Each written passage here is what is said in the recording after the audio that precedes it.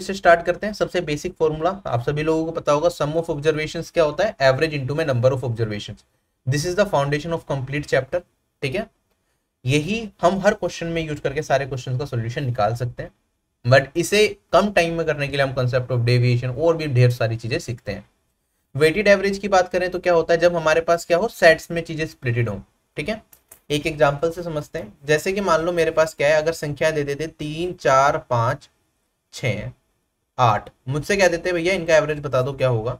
तो मैं इनका एवरेज निकालने के लिए क्या करूँगा? मैं इन सबका सम कर लूँगा और सबका सम करूँगा तो सात, पाँच, बारह और छह अट्ठारह और आठ कितना हो गया मेरे पास? ये हो गया छब्बीस। और मेरे पास कितनी वैल्यूज़ है? एक, दो, तीन, चार, पाँच। पाँच वैल्यूज़ है तो पाँच से विभाजित कर दूँगा इसे तो मेरे पास एवरेज आएगा फाइव पॉइंट टू ठीक है? तो sum of observation divided by number of observation होता है हमारा एवरेज राइट अगर मैं क्या करूँ, इन सभी वैल्यूज़ को 5.2 से रिप्लेस कर दूँ, क्या मेरे एवरेज में कोई फ़र्क पड़ेगा? नहीं पड़ेगा एवरेज विल रिमेन सेम तो एवरेज का मतलब यही है कि वो वाली वैल्यू जिससे अगर सभी वैल्यूज़ को रिप्लेस कर दिया जाए तो भी मेरे पास ना ही सम में कुछ फ़र्क पड़े, ना ही एवरेज के अंदर कुछ फ़र्क पड़े। क्या ये पार्ट क्लियर हो गया? अगर मैं आगे बढ़ता हूँ इसमें, अब मेरे पास मल्टीपल वैल्यूज़ हो जाए। जैसे कि मैंने कहा, मेरे पास एक क्लास है, जिसके अंदर 20 स्टूडेंट हैं, जिनका एवरेज वेट कितना है? 45 केजी है। और मेरे पास पाँच स्टूडेंट हैं, जिनका एवरेज वेट है 15 केजी तो मुझे बताना है सभी स्टूडेंट्स का एवरेज वेट कितना होगा, ठीक है? तो नंबर ऑफ़ स्टूडेंट्स मैंने यहाँ पे लिखे और उनका एवरेज वेट यहाँ पे लिखा। तो आप कहोगे, सर, सबसे पहले क्या करेंगे? सभी स्टूडेंट्स का टोटल वेट निकाल लेंगे। टोटल वेट कितना हो जाएगा? मेरे पास ये हो जाएगा बीस इंटू में पैंतालीस। पहले भी स्टूडेंट का टोटल वेट आ गया। फिर मैं करूँगा, पाँच स्टूडेंट्स का टोटल वेट पाँच इंटू में पंद्रह। तो ये सभी स्टूडेंट्स का टोटल वेट आ चुका है। इसे हम कहेंगे sum of observation divided by number of observation total number of students कितने थे मेरे पास? बीस और पाँच। इससे विभाजित कर देंगे। तो क्या ये मेरा फॉर्मूला बन गया? किसका? एवरेज का। ये सम हो गया ये नंबर ऑफ़ ऑब्जर्वेशन हो गया।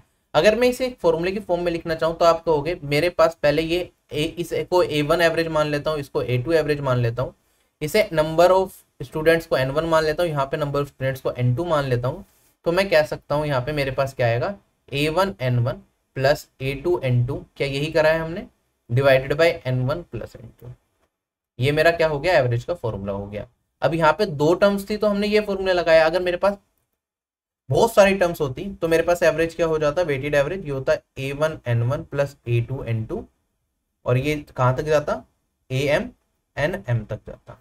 Divided by n one plus n two plus dash dash dash n m ये मेरा वेटेड एवरेज हो गया। डन अब इसी चीज़ को थोड़ा और सिंप्लीफाई करते हैं, इसी यहीं पे।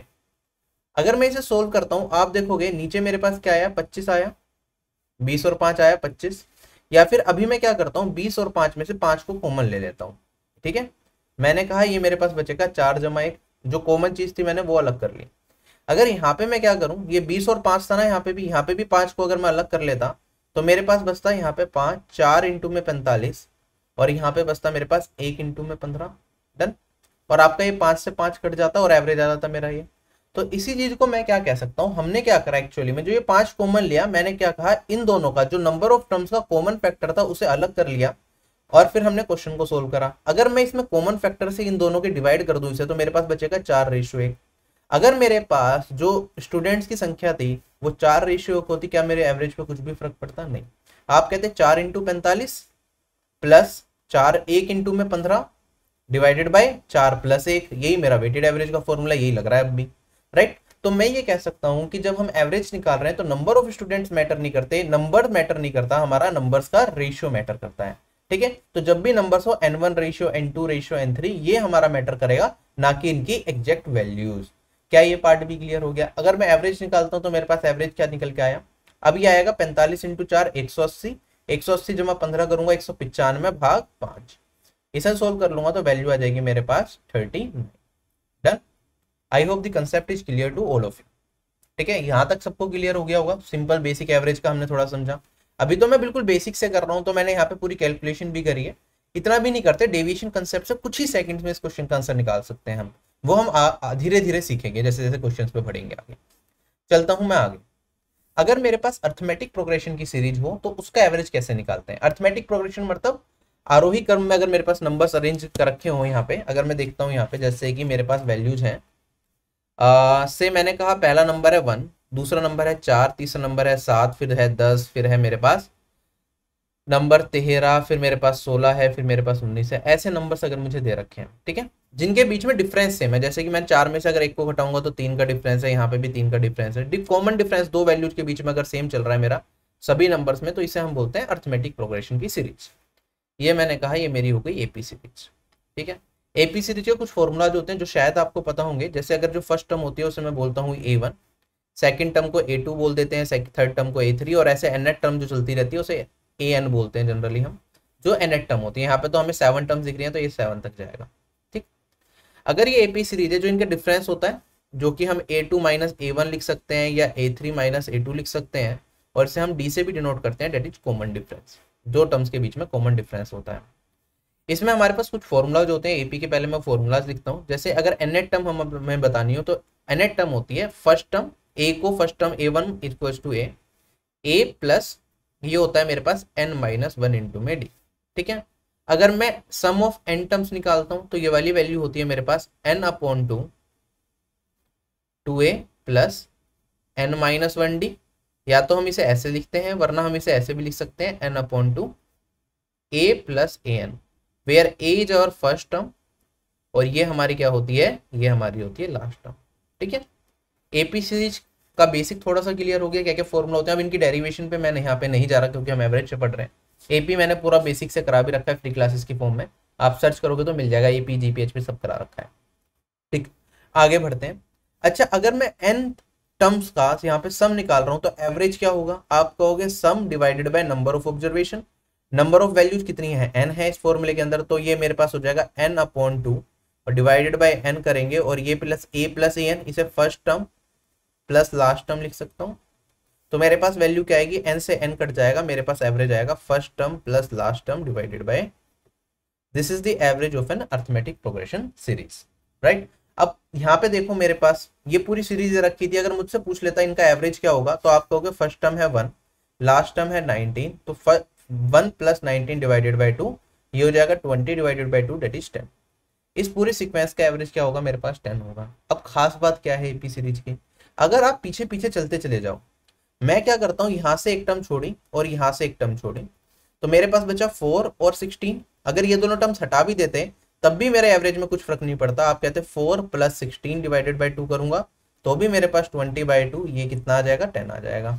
ऐसे ही अगर मैं इन दोनों टर्म्स को भी छोड़ देता, सात और तेरह, बीस भाग दो करता दस।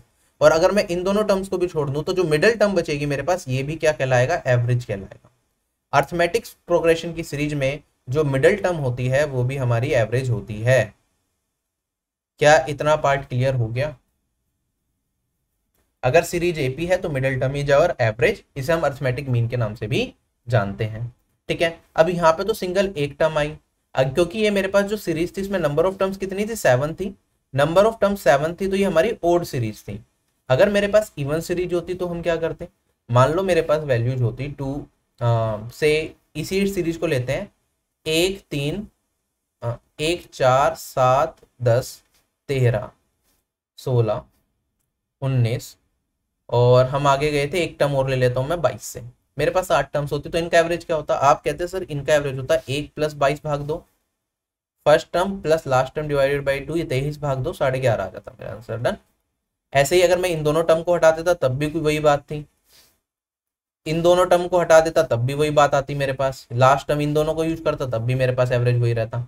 तो अब हम क्या करेंगे, क्योंकि जब मेरे पास इवन नंबर ऑफ़ टर्म्स हो गई तो मिडल में क्या बचेंगी? दो टर्म बचेंगी।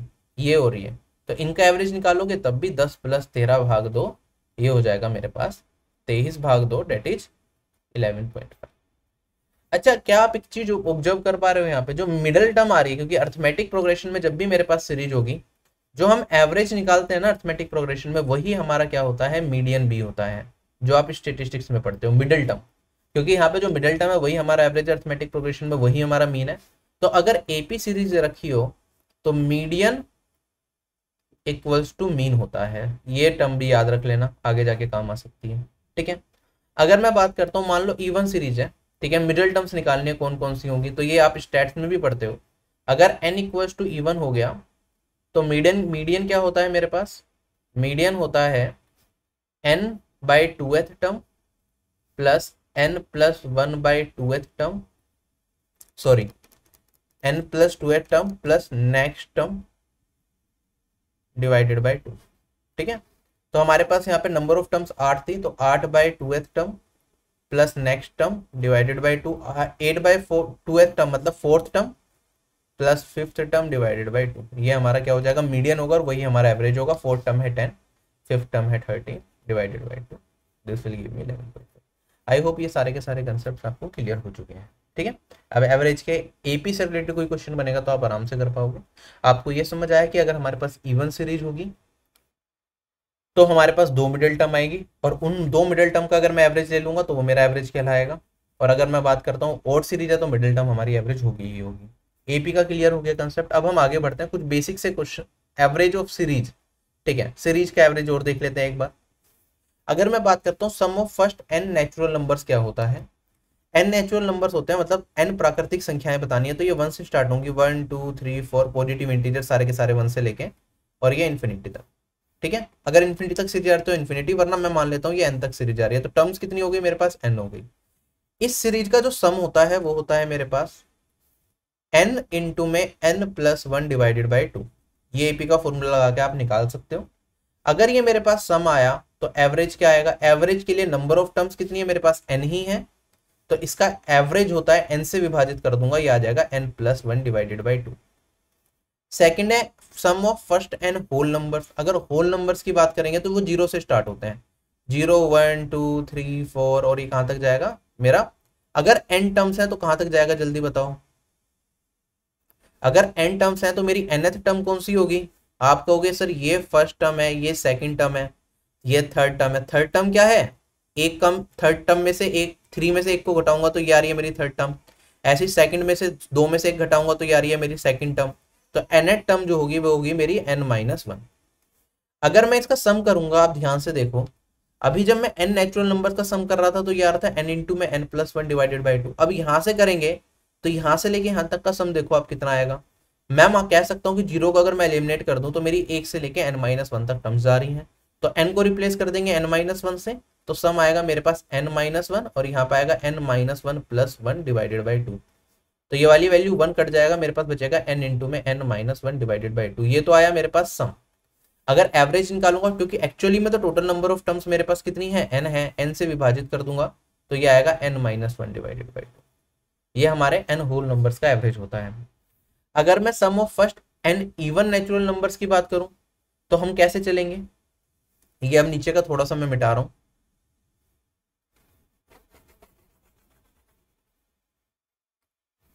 इवन नेचुरल नंबर्स क्या होंगे? जैसे two four six eight ten twelve यहाँ से लेके कहाँ तक जाएगा? देखो, ये फ़र्स्ट टर्म है, ये सेकंड टर्म है, ये थर्ड टर्म है, ये फोर्थ टर्म है, सारा दोगुना होता जा रहा है।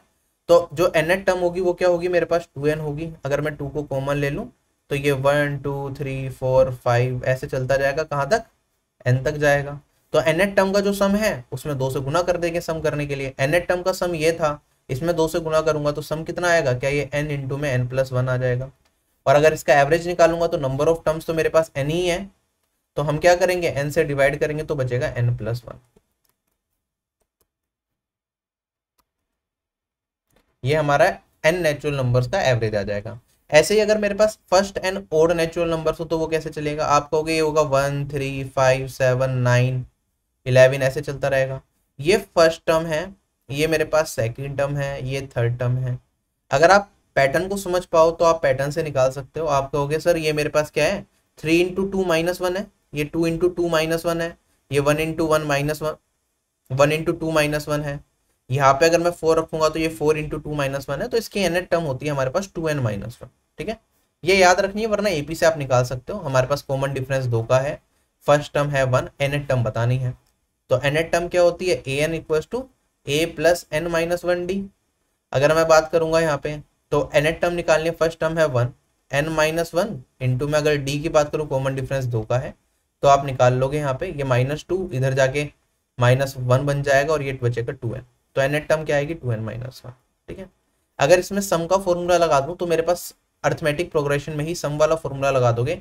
एस एन क्या होता है? N upon two A plus A N first term plus last term तो ये होगा one plus two N minus one one से वन कट जाएगा टू से टू काटूँगा तो मेरे पास बचेगा एन इंटू में एन तो ये वाली वैल्यू आएगी sum of N natural number that is N square ठीक है?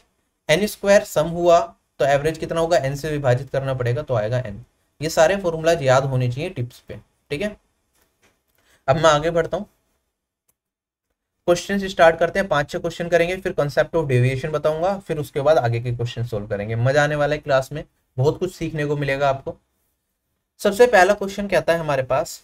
Average of what is the average of the number from one to fifty which are multiples of two और five ठीक है? एक से लेके पचास के बीस तक जितने भी नंबर्स हैं, जो या तो टू से कटे या पाँच से कटे, उनका एवरेज बता दो क्या होगा। डन तो मैं कहूँगा सबसे पहला नंबर दो, जो दो से कटेगा वो होगा दो, फिर चार, फिर पाँच से कटने वाला पाँच, फिर छ, फिर आठ, फिर दस, फिर बारह, फिर चौदह, फिर क्या होगा? पंद्रह आ जाएगा। ऐसे चलता रहेगा सीक्वेंस अगर आप ऑब्ज़र्व कर पाओ इस सीक्वेंस को, आप ध्यान दो यहाँ पे। पहले तो दो से कटने वाले तो मेरे पास सारे इवन नंबर्स आ जाएँगे। अगर सारे इवन नंबर्स आ गए तो क्या जाएगा? दो, चार छः मैं उन सबको अलग कर रहा हूँ, आठ, दस। और ऐसे करके पचास तक सारे के सारे इवन नंबर्स हमने शॉर्ट आउट कर लिए। ठीक है? दो से लेके पचास तक जा रहे हैं। कितने नंबर्स रहे होंगे? आप डायरेक्टली कह सकते हो, सर, पचास को दो से विभाजित करूँगा तो नंबर ऑफ़ वैल्यूज़ कितने आ गए मेरे पास? पच्चीस नंबर ही आ गए मेरे पास। डन ये दो से कटने वाली संख्या हो गई। अब मुझे बताना है, दो से कटे या पाँच से कटे? अगर पाँच से कटने वाले नंबर देखने हैं तो आप कहोगे, पहला नंबर तो मुझे दिखेगा पाँच। फिर जैसे ही दूसरे नंबर पे आऊँगा, ये हो गया पाँच इंटू टू टेन तो ये तो टू में भी आ गया तो इसे लेने की ज़रूरत नहीं है। फिर मेरे पास आएगा पाँच इंटू थ्री फिर आएगा आगे पाँच इंटू फोर पाँच इंटू फोर क्योंकि ये इवन हो गया तो ये टू में फिर से आ जाएगा। तो मेरे पास पाँच की कौन कौन सी टर्म्स बचेंगी जो इस वाली सीरीज़ में नहीं आएँगे? आप कहोगे पाँच, पंद्रह, पच्चीस, पैंतीस और मेरे पास वैल्यू आएगी पैंतालीस। ठीक है, पाँच टर्म्स ये हो गई। पच्चीस टर्म्स इधर थी, पाँच टर्म्स मेरे पास इधर आ गई। टोटल नंबर ऑफ़ टर्म्स कितनी हो गई? मेरे पास थर्टी हो गई। मुझे इन सभी टर्म्स का एवरेज बताना है कि क्या होगा। थर्टी टर्म से सम करूँगा तो क्या आएगा मेरे पास? क्या है? टोटल नंबर ऑफ़ टर्म्स पच्चीस है और इवन नेचुरल नंबर्स का सम क्या होता है? मेरे पास एन इंटू में एन प्लस वन तो पच्चीस इंटू में पच्चीस प्लस एक कर देंगे तो मेरे पास क्या आ जाएगा? इन सभी पच्चीस संख्याओं का सम आ जाएगा। ठीक है? कौन सा फॉर्मूला लगाया? मैंने ये वाला फॉर्मूला लगा दिया। एन इंटू में N plus one sum of N even natural numbers पच्चीस नंबर्स हैं। उनके सम का फॉर्मूला लगाया तो ये आ गया। अब आगे बढ़ते हैं। अब मुझे इनका सम करना है। या तो आप बेसिक से सम कर लो, वरना आप कहोगे, क्या ये भी अर्थमेटिक प्रोग्रेशन की सीरीज़ बना रहा है? पाँच, पंद्रह, पच्चीस, पैंतीस, पैंतालीस, दस दस का गैप है। तो मिडिल टर्म क्या होगी? एवरेज होगी, ये मिडिल टर्म है। अगर एवरेज पच्चीस है तो सम कितना होगा? पाँच टर्म्स का पच्चीस। एवरेज इंटू में नंबर ऑफ़ टर्म्स तो क्या ये एक सौ पच्चीस आ जाएगा? तो यहाँ पे मैं पच्चीस इंटू पाँच भी लिख सकता हूँ। ठीक है? वरना एक सौ पच्चीस डायरेक्टली लिख सकते थे। अब मैं यहाँ पे देखूँगा, यहाँ पे कुछ कट रहा है, मेरा तीस है, छह बचेगा यहाँ पे, पाँच से काट के ये बचेगा पाँच, और ये पूरा कैंसिल हो जाएगा। अब इसे आगे सोल्व करना पड़ेगा। छब्बीस इंटू पाँच करूँगा, एक सौ तीस, एक सौ तीस जमा पच्चीस आएगा, एक सौ पचपन, भाग छ अगर इसे सोल्व करेंगे तो छह दुनी जाएगा मेरे पास बारह।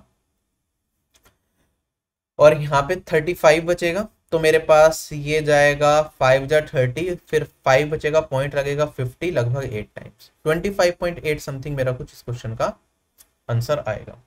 कौन सा ऑप्शन करेक्ट हो जाएगा? Option number D next question पे मूव करते हैं. क्वेश्चन में क्या था? ये क्वेश्चन मैंने रेशियो में भी कराया था, अगर आपको याद हो. Ratio of the average of first eight prime numbers to the average of first ten even natural numbers first eight prime numbers का एवरेज और first even ten prime numbers के एवरेज का रेशियो बताना है। तो एवरेज क्या होगा? First ten even prime numbers का एवरेज का फॉर्मूला क्या था? हमारे पास एन प्लस वन। तो नंबर ऑफ़ टर्म्स कितनी है? मेरे पास दस है इवन तो ये हो जाएगा ten plus one eleven. First eight prime numbers का एवरेज निकालूँगा तो मैं कहूँगा फ़र्स्ट एट प्राइम नंबर का सम करेंगे और डिवाइडेड बाई एट करना पड़ेगा, ठीक है? तो मेरे पास ये एट अगर रेशियो में इधर जाके मल्टीप्लाई होगा, मैं कहूँगा प्राइम नंबर्स के फ़र्स्ट एट का सम रेशियो में ग्यारह इंटू में आठ। अब जो भी मेरा यहाँ पे आएगा, क्योंकि हमें पता है प्राइम नंबर्स का सम करूँगा, इंटीजर वैल्यू आएगी तो मैं ये कह सकता हूँ, जो भी मेरा आंसर होगा, वो ग्यारह और आठ डिनोमिनेटर में इनका फैक्टर रहेगा, ठीक है? तो ग्यारह और आठ होता है अठासी। अब इनके फैक्टर्स क्या क्या हैं, अगर आप निकालना चाहो? तो मेरे पास बहुत सारे फैक्टर्स निकल के आएँगे। एक, दो, चार, आठ, फिर ग्यारह आएगा, फिर बाईस आएगा, फिर चौवालीस आएगा। ठीक है, फिर अट्ठासी आएगा, ये सारे फैक्टर्स हैं। तो डिनोमिनेटर में ये सारी वैल्यू कुछ हो सकती हैं। चार ऑप्शन को अगर मैं चेक करूँ तो यहाँ पे ये सात नहीं हो सकता, आठ अस्सी नहीं हो सकता, सत्तर नहीं हो सकता। डन क्या हो सकता है? आठ हो सकता है तो ये मेरा आंसर है ऑप्शन नंबर डी क्योंकि कटेगा या तो इससे या नहीं कटेगा। नहीं कटेगा तो मेरे पास ऐसा कुछ रहेगा, इनमें से अगर कटेगा, तब भी इनमें से कोई वैल्यू आएगी। प्राइम नंबर्स का सम निकालना चाहो एट का तो क्या आएगा मेरे पास? पहला प्राइम नंबर दो, फिर तीन फिर पाँच, फिर सात, फिर ग्यारह, फिर तेरह और फिर कितने हो गए? तीन, चार, पाँच, छ, सत्रह और उन्नीस। इन सब का सम कर लेंगे और हम क्या करेंगे? यहाँ पे पूरा रेशियो निकाल लेंगे। वो आप खुद कर सकते हो। आंसर हो जाएगा। ठीक है? सम करेंगे तो क्या आएगा? क्योंकि मुझे आंसर पता है ऑलरेडी तो मैं देख सकता हूँ यहाँ पे सेवन ये रेशियो में है और यहाँ पे ग्यारह कटा होगा तो सम अठासी आना चाहिए। ठीक है? ये ग्यारह इंटू आठ तो मेरे पास सात रेशियो चाहिए नेक्स्ट क्वेश्चन हमारे पास। What is the product of the average of first 10 positive odd numbers and the average of first 15 positive even numbers? तो first ten positive odd numbers का एवरेज क्या होगा? आप कहोगे एन ओड नंबर्स का average होता है मेरे पास एन और अगर मैं बात करूँ, क्योंकि यहाँ पे टेन है तो एन की जगह टेन से रिप्लेस करेंगे तो आएगा ten first fifteen even positive numbers का एवरेज निकालूँगा तो वो होता है मेरे पास एन प्लस वन कितनी वैल्यूज़ है? फिफ्टीन है तो यहाँ पे आएगा फिफ्टीन प्लस वन क्वेश्चन हो गया खत्म sixteen into ten one sixty ठीक है सेकेंड्स में करने वाले क्वेश्चन नेक्स्ट क्वेश्चन पे चलते हैं.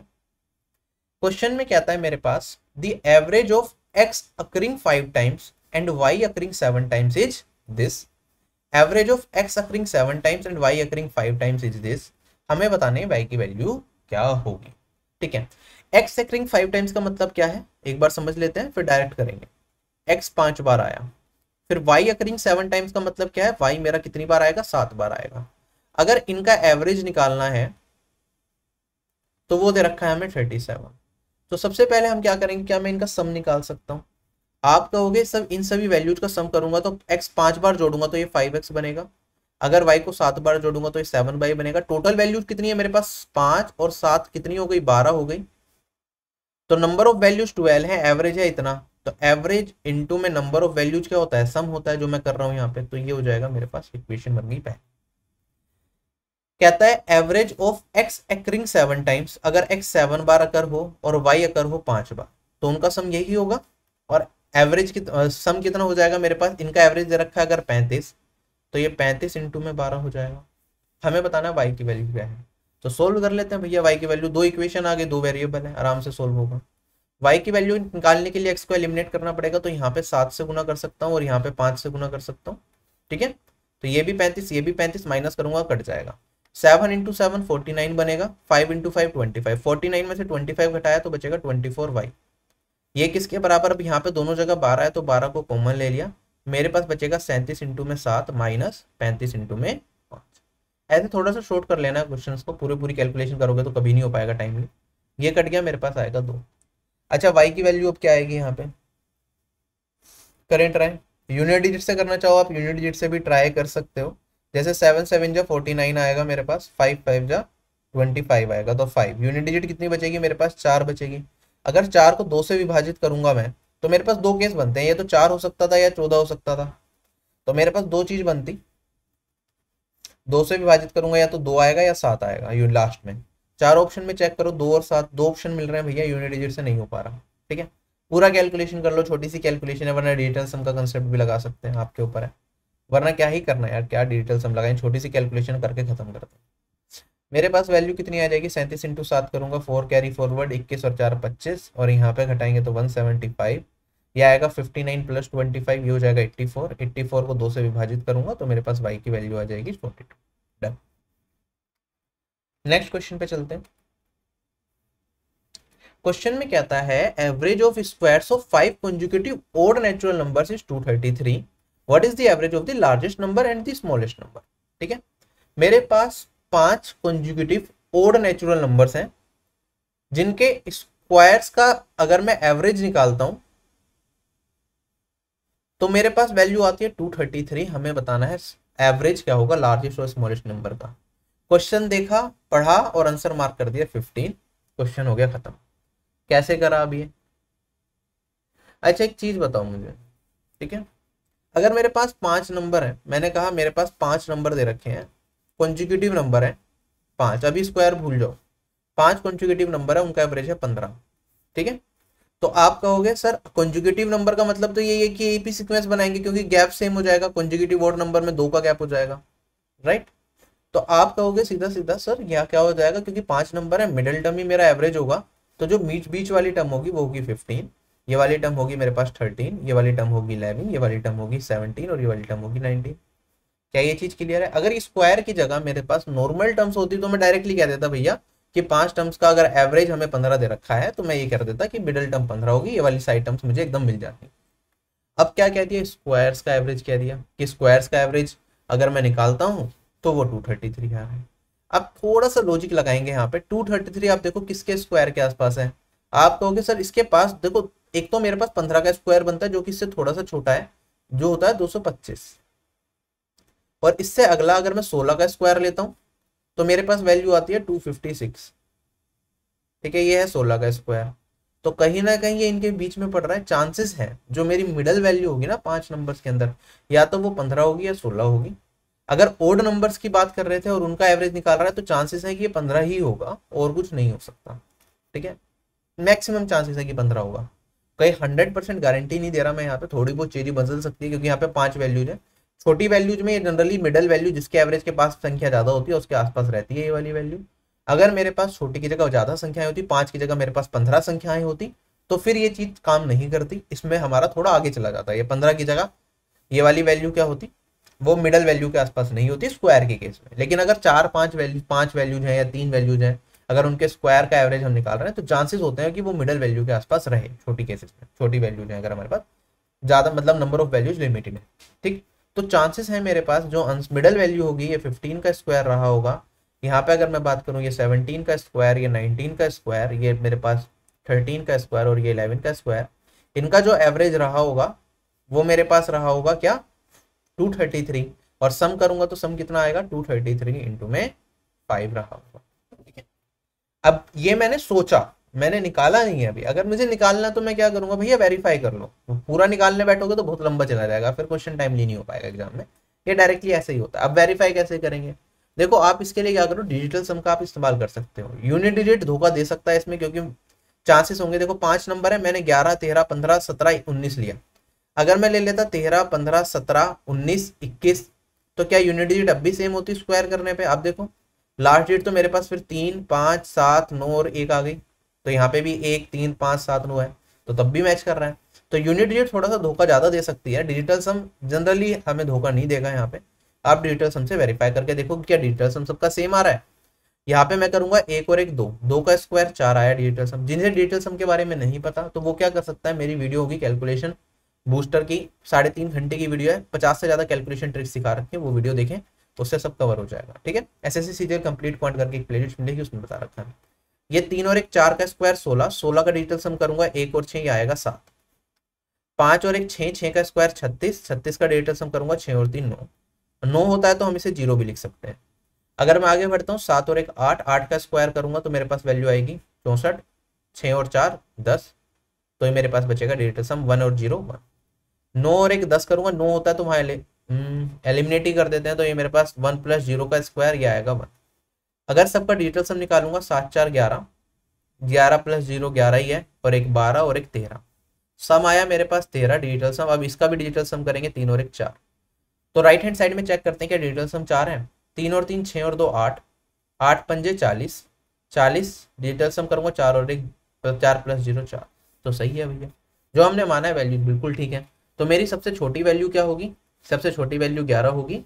लास्ट वाली वैल्यू उन्नीस होगी। इनका एवरेज क्या होगा? भैया, पंद्रह ही तो होगा। लास्ट टर्म और फ़र्स्ट टर्म और लास्ट टर्म का एवरेज तो मिडल वैल्यू ही होती है हमारी। अगर एपी सीरीज़ है तो ये पंद्रह है, पंद्रह ही मेरा आंसर है। क्वेश्चन पढ़ते ही within three to four second आप इस तरह के क्वेश्चन का आंसर कर सकते हो। गिवन हमारे पास सीरीज़ छोटी हो, और वो स्क्वायर सीरीज़ हो। नॉर्मल सीरीज़ में तो कर ही लोगे आप, अगर स्क्वायर नहीं दे रखा।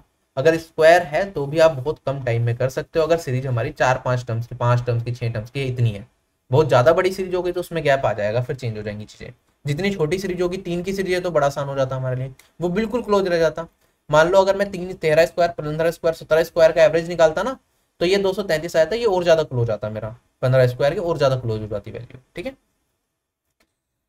तो यहाँ पे डायरेक्टली हमने देखा कि ये पंद्रह के स्क्वायर के आसपास था। तो मेरी जो एवरेज वैल्यू रही होगी पाँच टर्म्स में, जो ओड नंबर सिक्वेंस था तो उसकी एवरेज वैल्यू रही होगी पंद्रह। एक टर्म इधर आएगी, एक टर्म इधर आएगी, एक टर्म इधर आएगी, एक टर्म इधर आएगी। अब इन दोनों का अगर एवरेज पूछ लिया तो भैया वो पंद्रह ही होगा, खत्म हो गया क्योंकि इन दोनों का एवरेज ही तो निकाल रहे थे, हम कह रहे थे एपीसीजी में फ़र्स्ट टर्म और लास्ट टर्म का एवरेज निकाल लो, वही पूरे सिक्वेंस का एवरेज है। तो इन दोनों का एवरेज और पूरे सिक्वेंस का एवरेज सेम तो आंसर आ गया पंद्रह। ठीक है? Within two to three second में इस तरह का क्वेश्चन एग्ज़ाम में आता है तो करना है। बेसिक से करोगे तो बहुत लंबा खिंच जाएगा। अब कंसेप्ट ऑफ़ डेविएशन को समझते हैं। मज़ा आने वाला है इस कंसेप्ट में बहुत ज़्यादा। ठीक है? I am really excited to teach you this एक बार समझ आ गया तो एवरेज के क्वेश्चन उड़ा दोगे। डेविएशन का कंसेप्ट क्या कहता है? देखो, अगर मुझे ये सारे नंबर दे रखे हैं, चौसठ छियासठ सड़सठ, अड़सठ, सत्तर, साठ बासठ और इकसठ, मुझे इनका एवरेज निकालना होगा तो आप क्या करोगे? एक एक करके सभी वैल्यूज़ का सम करोगे और divided by number of values से डिवाइड कर दोगे तो आपके पास क्या आ जाएगा? एवरेज आ जाएगा, ठीक है? मैं वही कर रहा हूँ, ठीक है? मैं जो आप करते हो अभी तक, जिसे डेविएशन कंसेप्ट नहीं पढ़ रखा और आप जैसे करते भाई हो, मैं वैसे करता हूँ। बस मैं क्या कर रहा हूँ, क्या सिक्सटी फोर को मैं सिक्सटी प्लस फोर लिख सकता हूँ? अगर आप इजाज़त दें। क्या मैं सिक्सटी सिक्स को सिक्सटी प्लस सिक्स लिख सकता हूँ? क्या मैं सिक्सटी सेवन को सिक्सटी प्लस सेवन लिख सकता हूँ? क्या मैं यहाँ पे सिक्सटी एट को सिक्सटी प्लस एट लिख सकता हूँ? क्या मैं यहाँ पे सेवेंटी को सिक्सटी प्लस टेन लिख सकता हूँ? क्या मैं यहाँ पे सिक्सटी को सिक्सटी प्लस ज़ीरो लिख सकता हूँ? और क्या यहाँ पे मैं सिक्सटी टू को सिक्सटी प्लस टू और क्या मैं यहाँ पे सिक्सटी वन को सिक्सटी प्लस वन लिख सकता हूँ। बिल्कुल लिख सकता हूँ, कोई दिक्कत नहीं। एवरेज निकालना है तो किससे डिवाइड करेंगे? कितनी वैल्यूज़ है? एक, दो, तीन, चार, पाँच, छः, सात, आठ आठ से विभाजित कर देंगे, ठीक है? सिक्सटी मेरा कितनी बार आया होगा? क्योंकि हर वैल्यू को मैं सिक्सटी से कंपेयर करते हुए लिखता जा रहा हूँ, क्या सिक्सटी आठ बार आया होगा? सिक्सटी को आठ, अगर आठ बार सम करना है तो मैं सिक्सटी को ये लिख सकता हूँ सिक्सटी इंटू में एट सिक्सटी को आठ बार सम करने का मतलब यही है प्लस अब ये जो ब्रैक ये एक्स्ट्रा वैल्यूज़ थी इन सबका ऐड कर देंगे। चार प्लस छ प्लस सात प्लस आठ प्लस दस plus zero plus two plus one यही होगा। और अब मैं इसे डिवाइड करूँगा आठ से तो क्या यही मेरा एवरेज है? अब इसे ध्यान से समझेंगे। यहाँ पे इस वाली वैल्यू को आठ से डिवाइड करा तो ये आएगा सिक्सटी प्लस अब मेरे पास बचा ये। मेरे पास जो आंसर आएगा, इन सब का सम डिवाइडेड बाई एट बचेगा। जिसे मैं लिख रहा हूँ अभी, पूरा सम करना चाहो तो सम कर लेते हैं। चलो दस, पच्चीस, पैंतीस और तीन अड़तीस। ये आया अड़तीस भाग आठ। इसे सोल्व कर लेंगे तो ये मेरे पास आ जाएगा उन्नीस भाग चार। और उन्नीस भाग चार क्या होता है मेरे पास? ये होगा फोर पॉइंट सेवन फाइव तो आंसर आएगा सिक्सटी फोर पॉइंट सेवन ये एवरेज निकल गया मेरा। ठीक। अब मैंने इतना लंबा क्यों करा? कि सर, ऐसे तो अच्छा मैं बेसिक से ही कर लेता है आपने इतनी बड़ी कहानियाँ लिख दी। यही हमारा कंसेप्ट है डेविएशन का, बस। ये समझ आ गया डेविएशन समझ आ जाएगा। अब हमने देखो क्या करा। इस जो सिक्सटी को क्या बोलते हैं हम? जो ये सिक्सटी था, इसे मैंने बोला एज्यूम्ड मीन एज्यूम्ड मीन क्या होता है? एवरेज होता है। तो एज्यूम्ड मीन मैंने इसे बोल दिया अपनी मर्ज़ी से। ठीक है? जो ये मेरे पास था, ये सिक्सटी से वैल्यू को मैंने देखा, कितने कितने का गैप है? चार छ सात, आठ, जी, दस, ज़ीरो, दो और एक। इन सभी वैल्यूज़ को मैंने बोला डेविएशंस जो मेरा एज्यूम्ड मीन है, उससे इनकी डेविएशन कितनी है? या फिर आप एज्यूम्ड डेविएशन भी से बोल सकते हो क्योंकि एग्जम्पन पे हम काम कर रहे हैं, ठीक है? और फिर मैंने क्या करा? नंबर ऑफ़ वैल्यूज़ कितनी थी? मेरे पास आठ थी। तो मैंने एज्यूम्ड मीन में अगर मैं कहूँ assumed sum of the deviations divided by number of values मेरे पास कितनी है? क्या मेरे पास सेम आंसर आएगा? ये मेरा क्या है? एज्यूम्ड मीन मैंने कहा, ये assumed sum of the deviation है। और ये मेरे पास क्या है? नंबर ऑफ़ वैल्यूज़ क्या ये मेरा एवरेज दे रहा है? तो ये मेरा क्या हो जाएगा? ये मेरा एवरेज हो जाएगा। अब यहाँ पे एज्यूम्ड मीन को मैं कुछ भी मान सकता हूँ, मेरे पास ये फ्रीडम है अगर ये फ्रीडम है मेरे पास तो इस क्वेश्चन का एवरेज मैं कुछ ही सेकंड्स में निकाल सकता हूँ। अभी तो मैंने एवरेज को क्या माना था? सिक्सटी माना था। क्या सिक्सटी की जगह कुछ और मान लू क्या मैं? अब ध्यान से समझेंगे। मैंने एवरेज को सिक्सटी मान के करा। अब मैं इसी क्वेश्चन को दोबारा सोल्व करता हूँ। यहाँ पे इन्हीं वैल्यूज़ को लिखता हूँ मैं। सिक्सटी फोर है, सिक्सटी सिक्स है, या फिर ऊपर ही कर दू थोड़ा सा? चलो, ऊपर ही करता हूँ, पूरा मिटाऊँगा तो आपको दिक्कत आएगी, मैं यहाँ पे मिटाता नहीं मैं एज्यूम्ड मीन को यहाँ पे मान लेता हूँ, सिक्सटी फाइव। ठीक है, अभी सिक्सटी माना था सिक्सटी फाइव। तो मेरा आंसर क्या होगा, जो एवरेज होगा, वो होगा sixty five plus assumed sum of the deviation divided by number of value जितनी भी है मेरे पास। अच्छा इसे हम बोलते हैं assumed mean of the deviation ठीक है? Sum assume sum of deviation divided by number of values हो गया तो इसे हम assumed mean of the deviation बोल सकते हैं। Assumed mean of the deviation ठीक है? इसे एएमडी एक नाम से हम डिनोट कर सकते हैं। तो मेरे पास वैल्यू क्या आएगी अभी एवरेज मैंने 60 माना था, क्योंकि मैंने देखा है सारी संख्याएँ मेरी 65 के आसपास है। तो 65 का एवरेज मान लेता हूँ तो मेरे पास एवरेज यहाँ पे क्या आएगा? ये वाली वैल्यू मेरी माइनस वन है, ये वाली वैल्यू प्लस वन है, ये प्लस टू है, ये प्लस थ्री है, ये प्लस फाइव है, ये माइनस फाइव है। ये मेरे पास माइनस थ्री और ये मेरे पास माइनस ठीक है? पैंसठ से मैंने कंपेयर करा और ये वाली वैल्यू क्या करा मैंने? चौसठ में से पैंसठ को घटाया, जो मैंने ज्यूम्ड मीन माना है तो मेरे पास माइनस वन आया। छियासठ में से मैंने क्या करा? पैंसठ को घटाया तो मेरे पास आया ये प्लस वन तो मैंने डेविएशन निकाल ली कि एवरेज से वैल्यू कितनी दूरी पे है। तो अगर मेरे पास की सारी की सारी डेविएशन आई, इनका सम करूँगा तो one minus one plus one zero two plus three five plus five ten minus five plus five बचेगा। प्लस फाइव में अब तीन और चार सात को घटाया तो क्या मेरे पास डेविएशन माइनस टू का बचा? सम ऑफ़ द डेविएशन जो मेरे पास आया, वो आया माइनस टू और अगर मैं बात करूँ नंबर ऑफ़ वैल्यूज़ तो मेरे पास अब भी आठ है। काट दूँगा तो एक भाग चार। ये आएगा माइनस का ज़ीरो पॉइंट टू फाइव अगर मैं इसे सोल्व कर लूँ तो ये वैल्यू बन जाएगी मेरे पास sixty four point seven five भाई वाह, ये तो हमारा जो पहले एवरेज आया था, बिल्कुल वैसा ही आ गया। तो हमारे पास यहाँ पे एक फ्रीडम मिल गई हमें कि हम एवरेज को अपनी मर्ज़ी से कुछ भी मान सकते हैं। हम उसे क्या मान सकते हैं? जूम लिमिट को पैंसठ मान सकते हैं, हम साठ मान सकते हैं और उसे यूज़ करते हुए अपने क्वेश्चन को सोल्व कर सकते हैं। ठीक है? आई होप ये सारा का सारा कंसेप्ट क्लियर हो गया। अब एक छोटा सा क्वेश्चन और देता हूँ, उसके बाद फिर जो एग्ज़ाम में क्वेश्चन आए, वो हम डिस्कस करेंगे। मान लो मेरे पास कुछ संख्याएँ हैं, मेरे पास पाँच संख्याएँ हैं, जिनका औसत है एक सौ तेईस, और मेरे पास सात संख्याएँ हैं, जिनका औसत हम मान लेते हैं यहाँ पे, हमारे पास है 100 से 24 है। ठीक है? हमें बताना है इसका नेट एवरेज कितना होगा। ठीक है? ये मेरे पास नंबर ऑफ़ वैल्यूज़ दे रखे हैं, ये उनका एवरेज दे रखा है, हमें बताना है नेट एवरेज क्या होगा। अब क्या डिविएशन कॉन्सेप्ट में यहाँ पे लगा सकता हूँ? आप कहोगे एवरेज क्या होता है मेरा? Assumed mean plus assumed mean of the deviation done assumed mean को क्या मान लें? अब मैं देखो, यहाँ पे 123 से 124 दो संख्याएँ, छोटे वाली वैल्यू को हम जनरली मान लेते हैं। मैं एज्यूम्ड मीन को मान लेता हूँ 123 तो डेविएशन कितने का आएगा? 123 में 123 को घटाऊँगा तो वैल्यू ज़ीरो बचेगी। 124 में 123 को घटाऊँगा तो plus one sum of the deviation कितना निकल के आएगा? जल्दी बताओ। Assumed mean of the deviation क्या होता है? सम अपॉन में number of values number of values कितनी है? पाँच जमा सात है। और अगर मैं डेविएशन का सम निकालता हूँ, आप कहोगे पाँच को ज़ीरो से गुना करेंगे। सात को एक से गुना करेंगे। क्यों? क्योंकि मेरे पास ज़ीरो आया मतलब डेविएशन पाँच वैल्यूज़ की ज़ीरो है। ठीक है? तो ज़ीरो ज़ीरो ज़ीरो कितनी बार? पाँच बार ऐड करना पड़ेगा तो पाँच इंटू ज़ीरो लिख सकता हूँ। और यहाँ पे मेरे पास वन का डेविएशन है, कितनी बार आया होगा? क्योंकि सात नंबर है, सात बार आया होगा तो टोटल डेविएशन सात इंटू एक ये हो जाएगा मेरे पास सात। तो ये होगा one twenty three plus seven by twelve इसे सोल्व करूँगा तो मेरे पास आंसर आएगा one twenty three plus seven by twelve seventy बनेगा। अप्रोक्सीमेटली ज़ीरो पॉइंट सिक्स लिख सकता हूँ। क्या मेरा answer one twenty three point six आ गया? क्वेश्चन हो गया, खत्म।